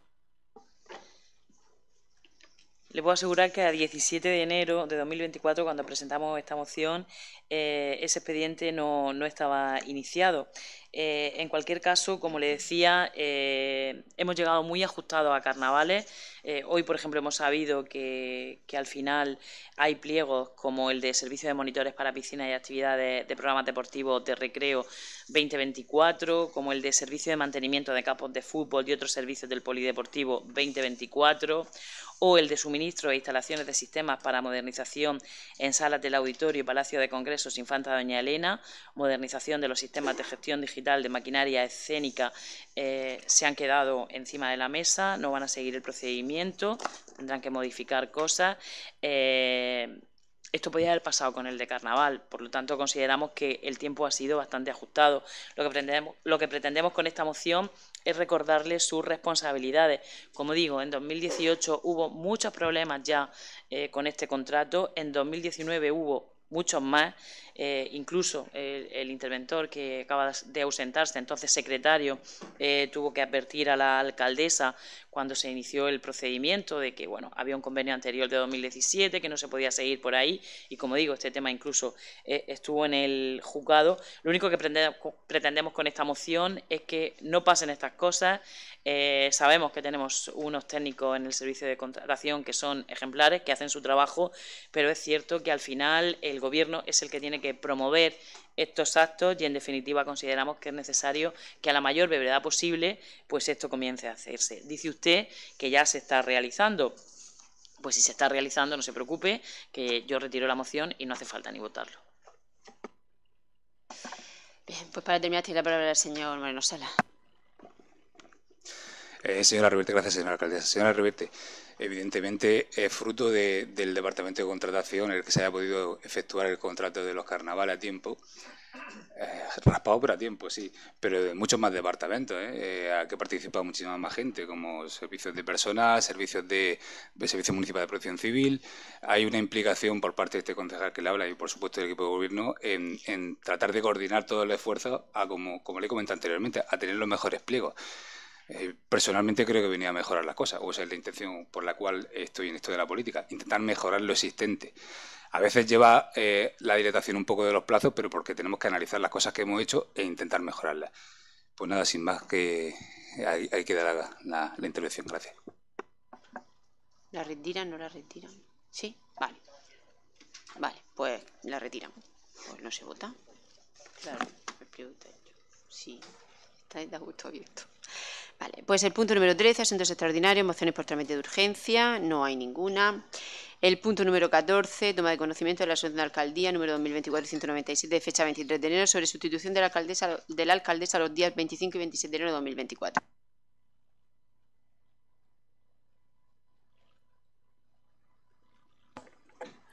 que los días 25 y 26 de enero de 2024 asume, asumió todas las funciones de esta alcaldía el, el cuarto teniente de alcalde, don José Manuel Galvez García, en los términos del artículo 23.3 de la ley 7 85 desde de abril, reguladora de la base del régimen local y el 31, el reglamento orgánico del, del Ayuntamiento de Águila. La delegación comprende las facultades de dirección y de gestión, así como la de resolver los procedimientos administrativos oportunos mediante la adopción de actos administrativos que afectan a terceros. El órgano delegado ha de informar a esta alcaldía a posteriori y en todo caso de cuando se lo requiera, se le requiera para ello de la gestión realizada de las disposiciones dictadas en el periodo de referencia y con carácter previo a aquellas decisiones trascendentes tal, y como se prevé en el artículo 115 del RODER del Reglamento Orgánico de Funcionamiento. La delegación conferida en el presente decreto requerirá para su eficacia la aceptación del órgano delegado, entendiéndose esta otorgada tácitamente si no se formula ante esta alcaldía expresa manifestación de no aceptación de la delegación en el término de tres días hábiles contados desde el siguiente a aquel en que se le sea notificada la notificada esta resolución. La presente resolución será publicada en el Boletín Oficial de la Región de Murcia dándose cuenta del pleno corporativo en la primera sesión que se celebre. En lo no previsto precisamente esta resolución se aplicarán directamente las previsiones de la ley de base del régimen local, del el reglamento orgánico y el reglamento orgánico de funcionamiento.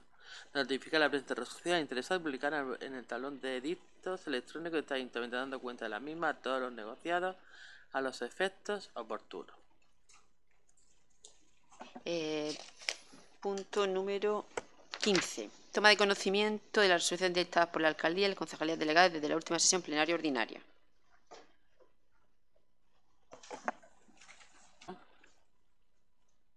Dictadas por la, por la propia alcaldía y las concejalías delegadas, según un listado que se adjunta con anexo a la presente acta, que consta de 46 páginas. Comienza con la resolución número 2023-2802 de 23 de noviembre del 2023 y termina con la resolución número 2024-232 de fecha 25 de enero de 2024.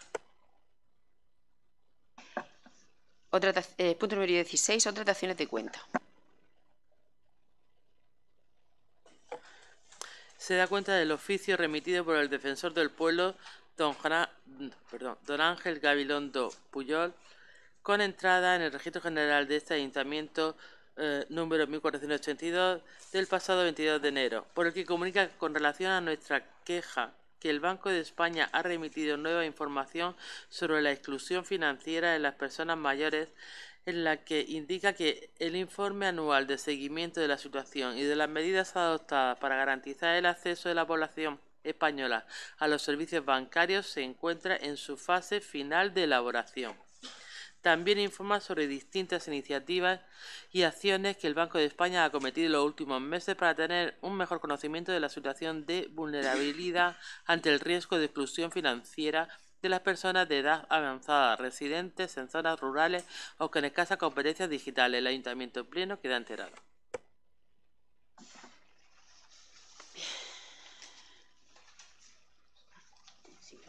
De igual modo, se da cuenta de los ah, acuerdos adoptados por unanimidad en la mesa negociadora celebrada eh, el pasado el 25, de enero en relación a la propuesta de compromiso elaborada por el teniente alcalde delegado de personal don José Manuel Gázvez García con la siguiente redacción que comprende las modificaciones propuestas.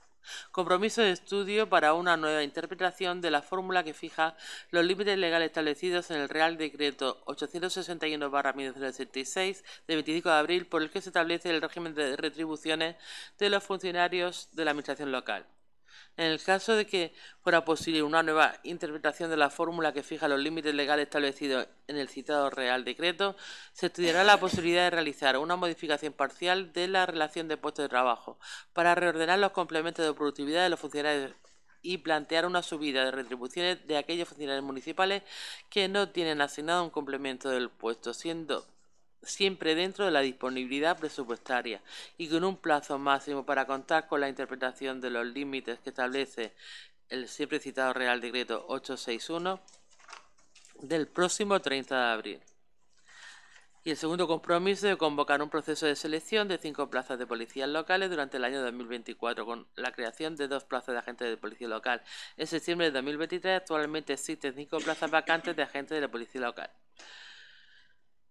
Habiéndose ofertado tres plazas de agente en la oferta de empleo público de 2023 publicada en el BOR del 26 de diciembre de 2023, en la próxima oferta de empleo público de 2024 se ofertarán dos plazas de agentes más para poder iniciar el proceso de selección de las cinco plazas de agente de policía.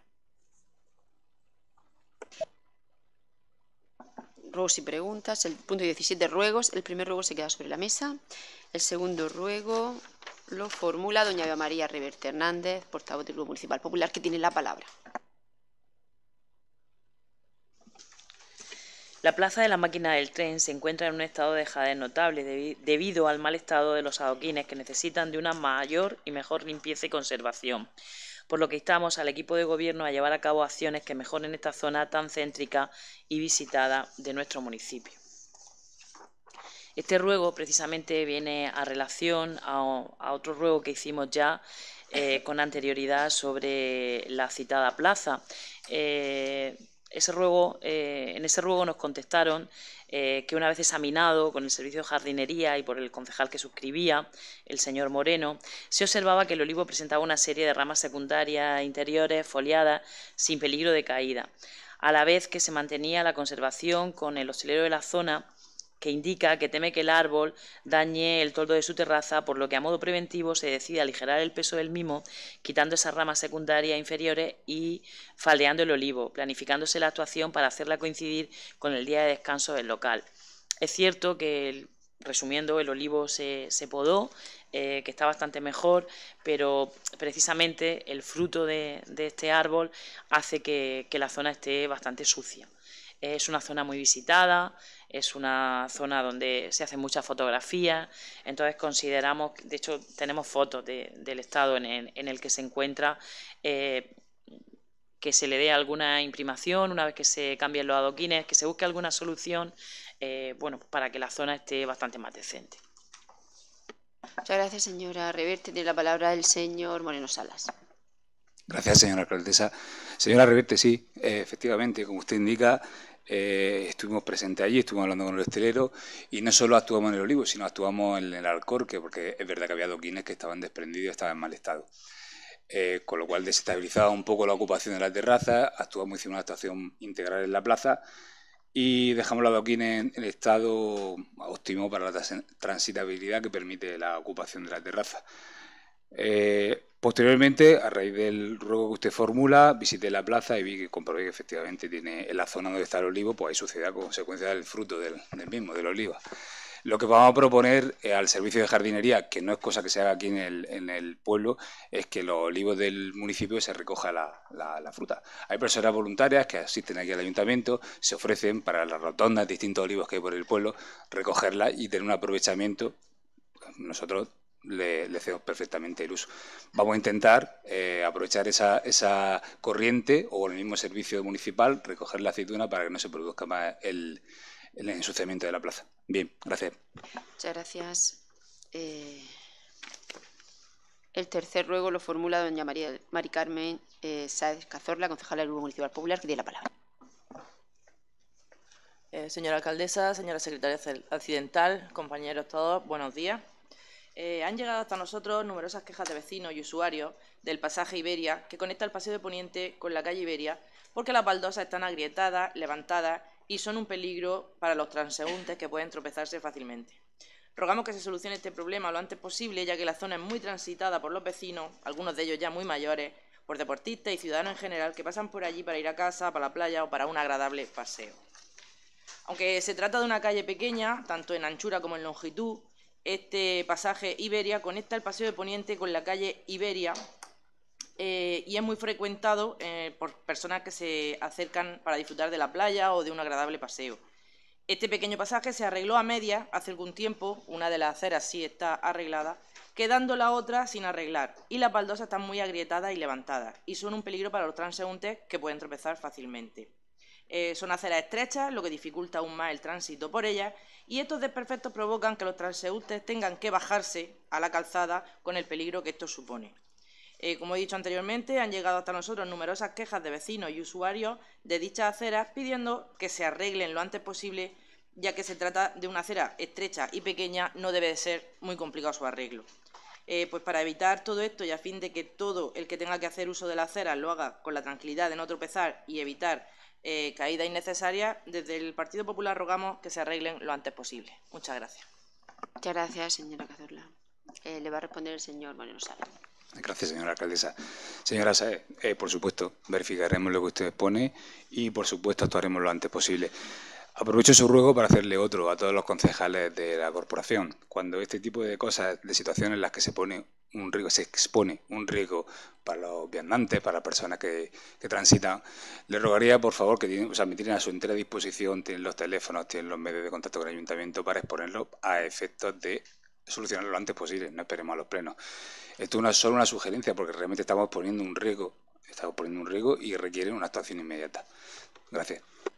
Muchas gracias, señor Moreno Salas. El cuarto y último ruego lo formula don Lorenzo Sánchez López, concejal del Grupo Municipal Popular, que tiene la palabra. Buenos días, señora alcaldesa, secretaria, compañeros. Presentamos este ruego que se establezca un reglamento y se ponga a disposición de todas las peñas que lo necesiten el recinto ferial Adolfo Suárez, desde el 1 de diciembre hasta el jueves de Musona, previa solicitud en el registro del Ayuntamiento de Águila por escrito con debido tiempo y forma. Bueno, el, objetivo es que peñas, sobre todo de coreografía, y que no disponen de un local para poder ensayar, que puedan disponer del recinto ferial para este uso, facilitando así también a las peñas la forma de poder solicitar la reserva del recinto. Hasta incluso también podrían, se podrían colocar unos espejos móviles en el mismo recinto, ya que son peñas, sobre todo, como he dicho, que hacen coreografía y antes de pasar a las calles, pues estaría bien que se, como todos sabemos, los locales disponen de espejos para verse ellas y, estaría bien. Y nada más, y sería, pensamos que sería una buena forma de ayudar a, a estas peñas y así mejorar nuestro carnaval. Gracias. Muchas gracias, señor Sánchez. Le va a contestar el señor concejal delegado de la materia.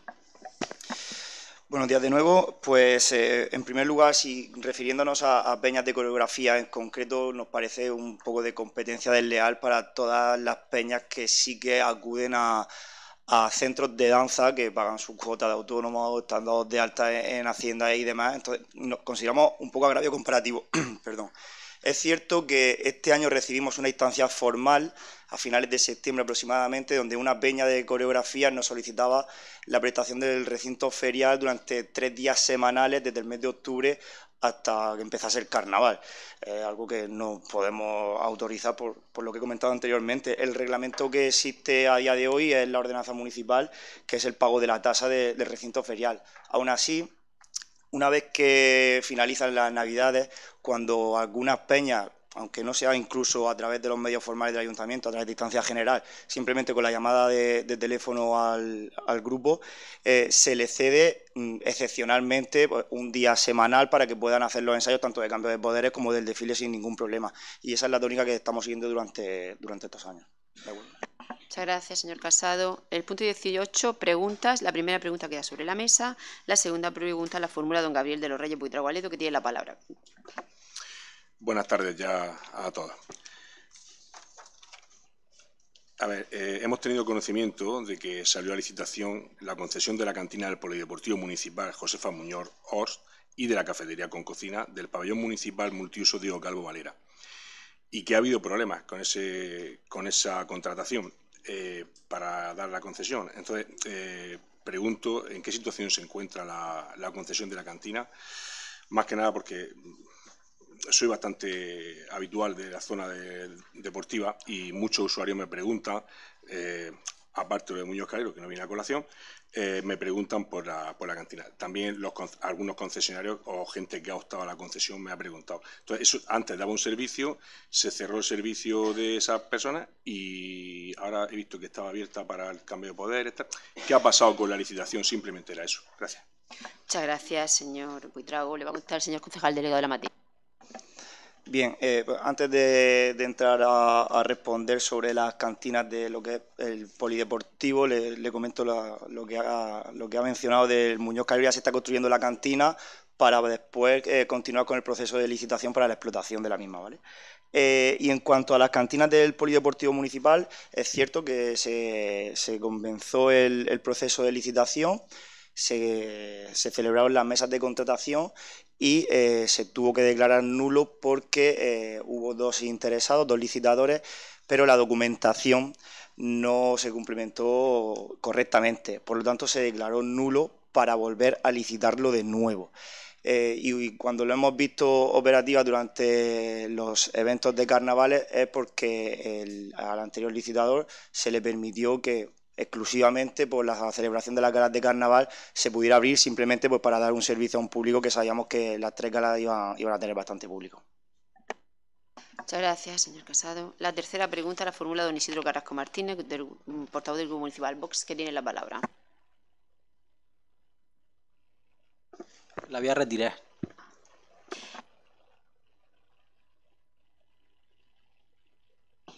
Perdón. La cuarta pregunta la formula don Isidro Carrasco Martínez, portavoz del Grupo Municipal Popular Vox, que tiene la palabra. Gracias.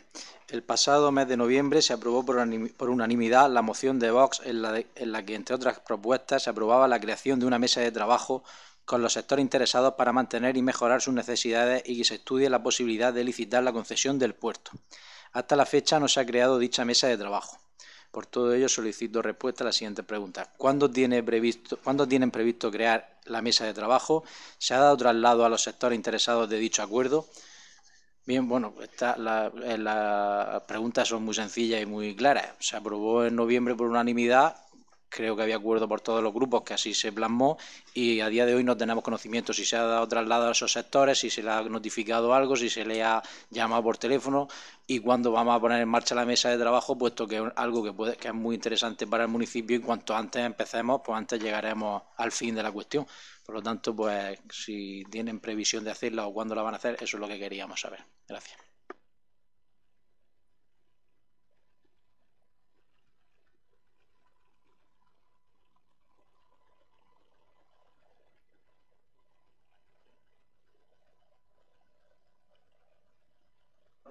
Este sí. Sí. Sí.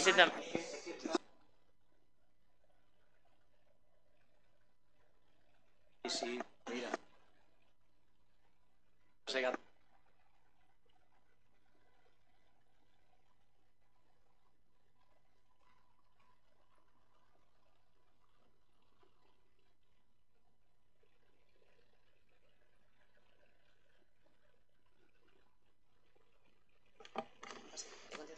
Eh, pues estamos esperando a que nos conteste el director general de puerto, que es el que tiene las competencias en el puerto, y que ya se lo hemos reiterado tanto por escrito como dos veces yo presencialmente de manera verbal eh, y estoy esperando que me llame y a que me conteste para poder convocar esa mesa. Bien. Eh, y la siguiente pregunta, quinta pregunta. No, quinta. Quinta, quinta. La formula también don Isidro Carrasco Martínez, portavoz del Grupo Municipal de Vox, que tiene la palabra.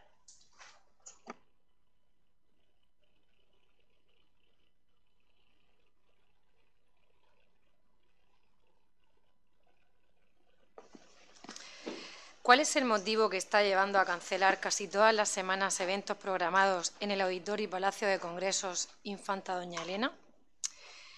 Eh, pues bien, eh, no solo en la última semana, yo diría que, en los últimos meses, en el último, en el último año, voy a buscar eh, simplemente por, por enumerar algunos.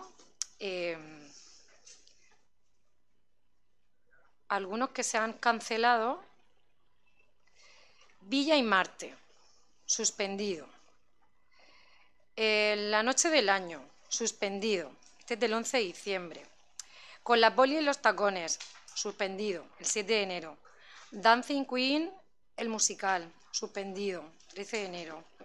Encanto, tributo musical, aplazado. La Sirenita, el musical, cancelado. La Ratita Presumida, cancelado. Noche de Cluedo, el musical, cancelado. Y el último, eh, Las guerras de nuestros antepasados, que he visto que, ahora tiene nueva fecha para abril y esperemos que no se vuelva a suspender. Creemos que son bastantes eh, eventos los que se suspenden. Entonces, mm, ¿cuáles son los criterios? ¿Cuáles son los criterios que se siguen a la hora de la contratación?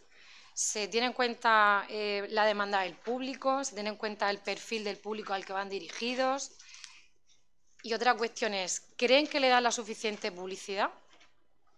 Eso es todo.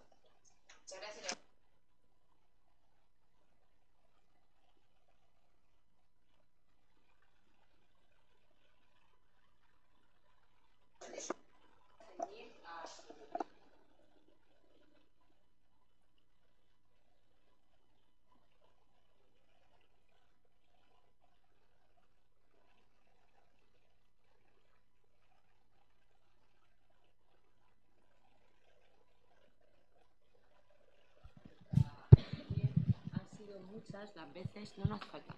Que ha, ha sido necesario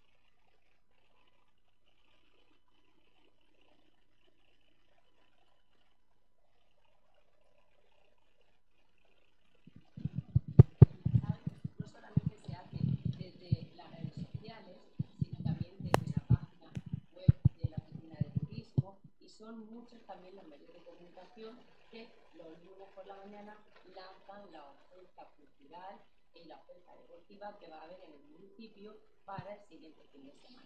Por tanto, señora Soler, sí que le puedo decir, darle eso. Señora Rodríguez, ¿puedo continuar con la respuesta?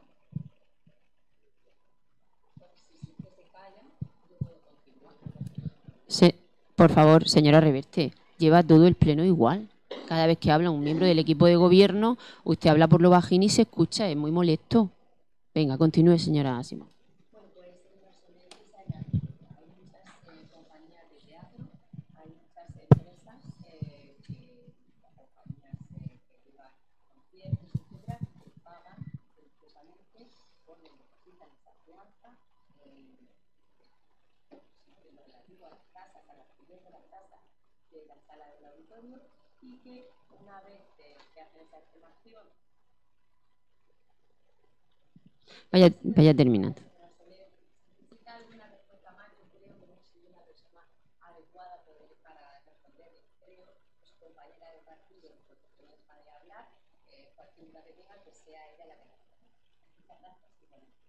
Buenos días.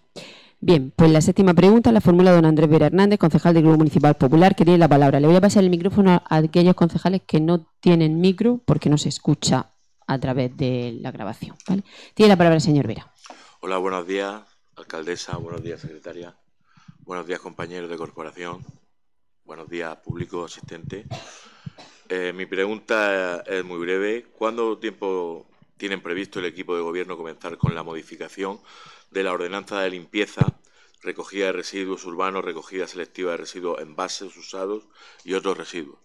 Eh, para poner en contexto la pregunta, el pasado 28 de octubre del 2023 eh, hicimos una moción conjunta que se aprobó eh, para crear esta ordenanza y llevarla a cabo. He visto que hoy hemos comprobado que se han hecho algunas acciones en el polígono de poner unos volardos para delimitar dos calles. Creemos que es algo mm, que no tiene mm, mucha trascendencia, más allá de que el, el incívico que vaya a tirar eh, los residuos ve el volardo y va al lado del tiro va a tirar en otro lado. Por tanto, creo que es importante cuanto antes hacer la ordenanza, eh, señalizar, mm, marcar y poner los puntos que, que dijimos en la ordenanza en ese pleno que podríamos hacer. Muchas gracias. Buenos días. Gracias, señora alcaldesa. Eh, buenos días a todos. Eh, nada, muy rápido, muy breve. Mm, como me ha hecho alusión al tema del polígono, le digo que los propios locales de los comercios que están en el propio polígono están muy contentos con esa actuación que se ha hecho, que es verdad que no es algo eh, a futuro, que es algo momentáneo mientras no está esa ordenanza para, como entre otros temas de los que hablamos en ese pleno con esa moción conjunta, las sanciones estaban en pesetas, no se ha podido llevar más a cabo simplemente esto que se ha hecho y que está funcionando, pero además la, ordenanza, lo que le puedo decir es que está en camino, está en marcha, está con los trámites establecidos para poder traerla a pleno, porque la diferencia es que la, ordenanza no se va a modificar. Estaba tan antigua, tenía que atender a la ley nueva 7-2022 de residuos y lo que se ha hecho es una ordenanza totalmente nueva. Está redactada y está en marcha para que lo más breve posible venga al pleno. Muchas gracias.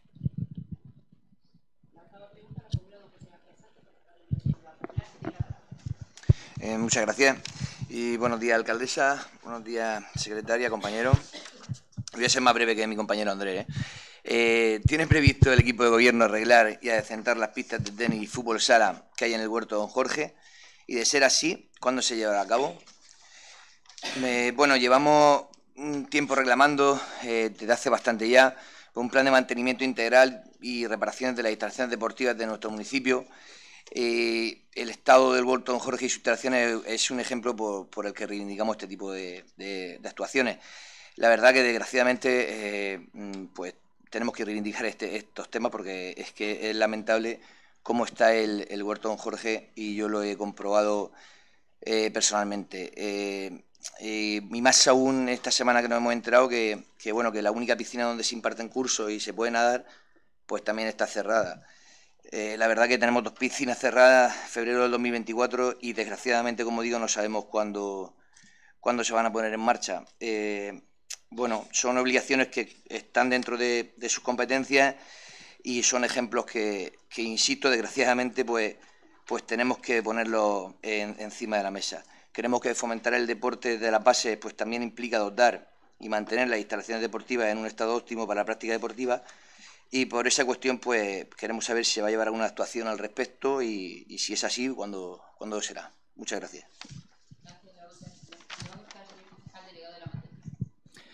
Bien, pues eh, ese plan de, de mantenimiento integral que hacía referencia el señor José García, me gustaría también detallar algunas de las actuaciones que se han llevado a cabo, no dentro de ese plan de mantenimiento integral, pero sí actuaciones en instalaciones deportivas, que es la sustitución del césped artificial de la pista de fútbol indoor del Polideportivo Municipal, el reasfaltado y el saneamiento de, de la superficie de la pista de fútbol sala, bueno, pista polideportiva junto a la pista de frontón del Polideportivo Municipal y el reasfaltado de la pista central del, del Patronato Deportivo. Son tres actuaciones que se han llevado a cabo, incluso alguna de ellas está todavía llevándose a cabo eh, hace aproximadamente un mes que, dieron comienzo. Anteriormente también le comentaba al compañero Gabriel Buitrago la construcción de esa cantina en el campo de fútbol del Muñoz Calero. Y en cuanto al Huerto Don Jorge, pues eh, recordemos que actualmente el Huerto Don Jorge es la sede del Club de Remo, donde se están haciendo también actividades deportivas y en lo que comprende a la, a la pista polideportiva y a la pista de tenis durante la pasada legislatura sí que se llevaron a cabo varias actuaciones que prácticamente siempre eran las mismas, que es la rotura de, la valla de malla que, que cubre la pista polideportiva y ahora mismo la única reforma que tenemos planteado en esa, concretamente en esa instalación, sería la reposición de, de dicha valla. Gracias. La novena pregunta la formula don Juan Manuel Zaragoza. Eh, señora alcaldesa, s- señora secretaria accidental, compañeros, buenos días. ¿Por qué motivo se ha estado quitando plantas de la zona verde forestal explorador Felipe López, López y se están replantando roles nuevos cuando han transcurrido solo unos pocos meses desde su inauguración? El 3 de marzo del 2023 se hizo la primera inauguración y el 26 de marzo eh, se hizo el nombramiento de, del, parque a nombre del explorador Felipe López López de una obra que costó 460.000 euros eh, pues meses previos a las elecciones. Desde que, desde que ese jardín se, se abrió, pues ha, ha habido, además de los problemas que comentamos en otro pleno con las canastas y todas estas cosas, ha habido problemas evidentes de, la- de las plantas que se han puesto en este lugar. Durante unos tiempos las malas hierbas invadieron todo el jardín, se vio desde el principio que empezaron a secarse árboles y ahora, hace la semana pasada o la anterior, eh, se han arrancado unos, arbustos que había y se están sustituyendo por, árboles nuevos. A los pocos meses de haber terminado un parque, de inaugurarlo, ya se están teniendo que hacer eh, modificaciones importantes, lo que supone que o se hicieron las cosas más desde el principio o se corrió demasiado para inaugurarlo y entonces pregunto el porqué de, de, de todo este movimiento que está habiendo y luego si eso nos cuesta dinero a nosotros o, o la empresa que, que plantó los árboles que se han secado, que, que yo creo que las plantaron secos la mitad y todas estas cosas, pues, pues corre con, con parte de esos gastos.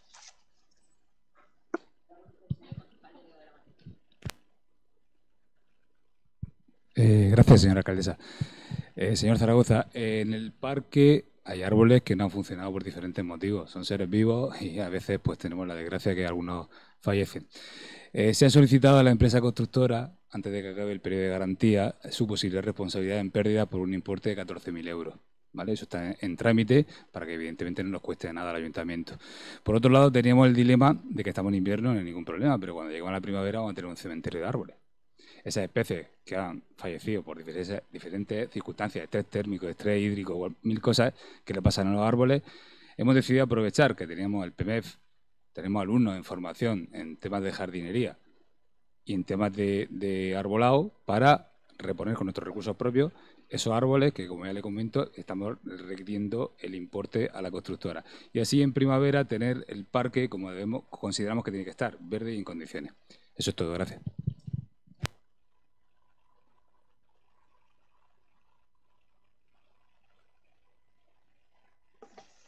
Buenos días de nuevo. ¿Qué tiene previsto hacer el equipo de gobierno con las caravanas del resto de playas que no comprenden el paraje natural de Cuatro Calas o la playa del Arroz? Eh, recientemente hemos podido ver una publicación en, las redes sociales del Ayuntamiento de Aila en las que se iban a tomar medidas instando eh, al gobierno regional eh, para proteger el paraje natural de Cuatro Calas y la playa del Arroz de las caravanas. Nos alegramos que por fin hayan decidido bueno, pues llevar a cabo eh, este problema, abordar este problema. Eh, les recuerdo que justo hace un año, en enero de 2023, ya presentábamos eh, una moción que ustedes rechazaron por el tema del autocaravanismo. El problema es serio. hemos podido ver incluso que se incumple pues, la ley a nivel nacional porque se hace fuego en la playa y demás. Vemos también eh, que a lo mejor debemos abordar el tema de la señalética en la ciudad para que precisamente las autocaravanas, pues debido a las dimensiones, eh, no se metan por algunas calles, porque es cierto que, que se ha visto ya más de un atasco en alguna calle donde la caravana al final, la autocaravana no podía avanzar ni hacia adelante ni, ni hacia detrás.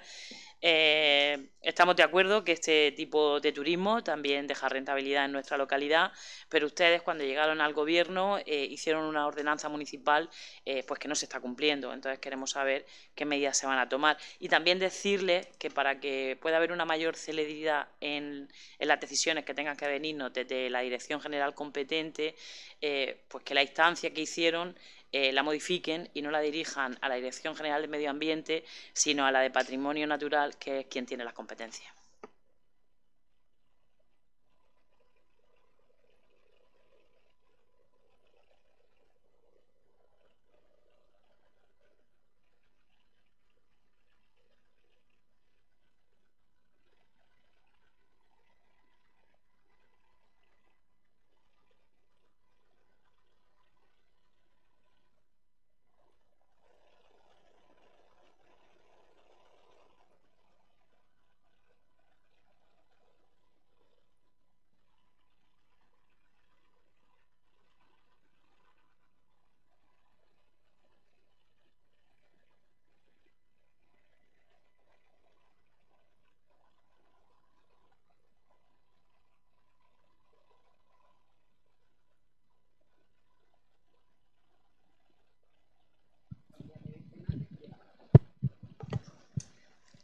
¿Es justa y proporcional la medida impuesta en el expediente disciplinario abierto al tesorero accidental del Ayuntamiento de Águila? Bueno, antes de continuar y por alusiones, eh, me gustaría decirle a la señora Simón que siento haberla interrumpido, que por supuesto yo no tengo que contestar a, su- a sus preguntas, pero que no he hecho no he hecho nada diferente a lo que a lo que se hace en el resto, que hablas con mi compañera que tengo al lado, disculpe si mi tono ha sido un poco más alto y la he molestado. Solo quería, si me deja la alcaldesa, pedirle disculpas. En cuanto a la pregunta que... He muchísimas. Cuando se está en un punto orden del día, no se orden del día. Hay un reglamento que y yo creo que toda esta sala de órgano, es el pleno, primar.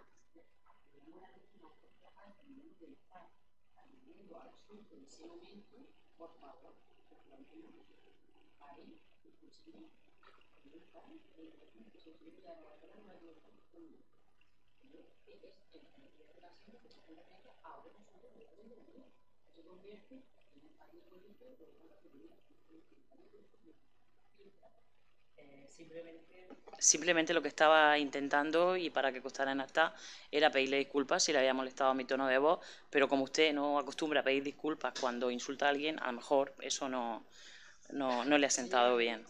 Tiene usted la palabra para ese punto. Ya está bien. Bueno, queremos saber si es justa y proporcional la medida impuesta eh, en el expediente que se ha abierto al tesorero accidental eh, del Ayuntamiento de Aila.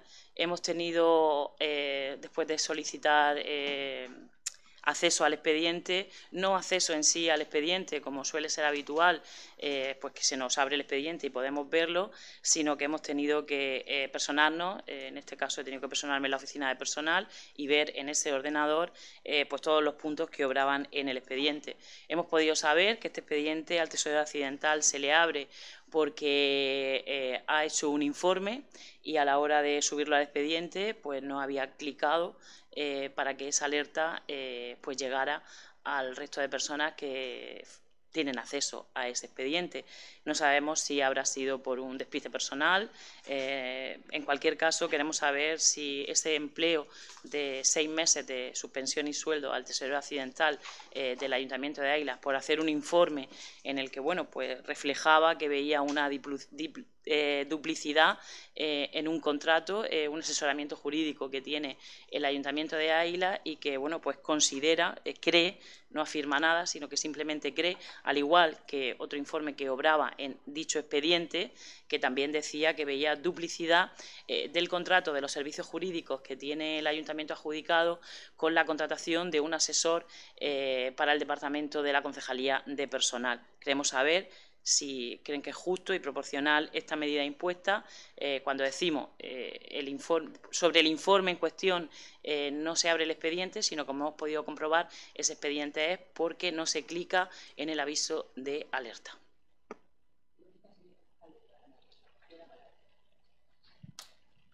Gracias, señora alcaldesa. Voy a ser muy, muy breve. En un expediente disciplinario eh, lo que- se debe proceder con la mayor discreción la- y, por supuesto, la seguridad jurídica y la mayor de las garantías para todas las partes de, eh, que participan en todas las partes de ese procedimiento, ese expediente administrativo. Y se resolverá según lo que proceda. Y aparte considero, creo, que no es un asunto para debatir o comentar en, en una sesión plenaria.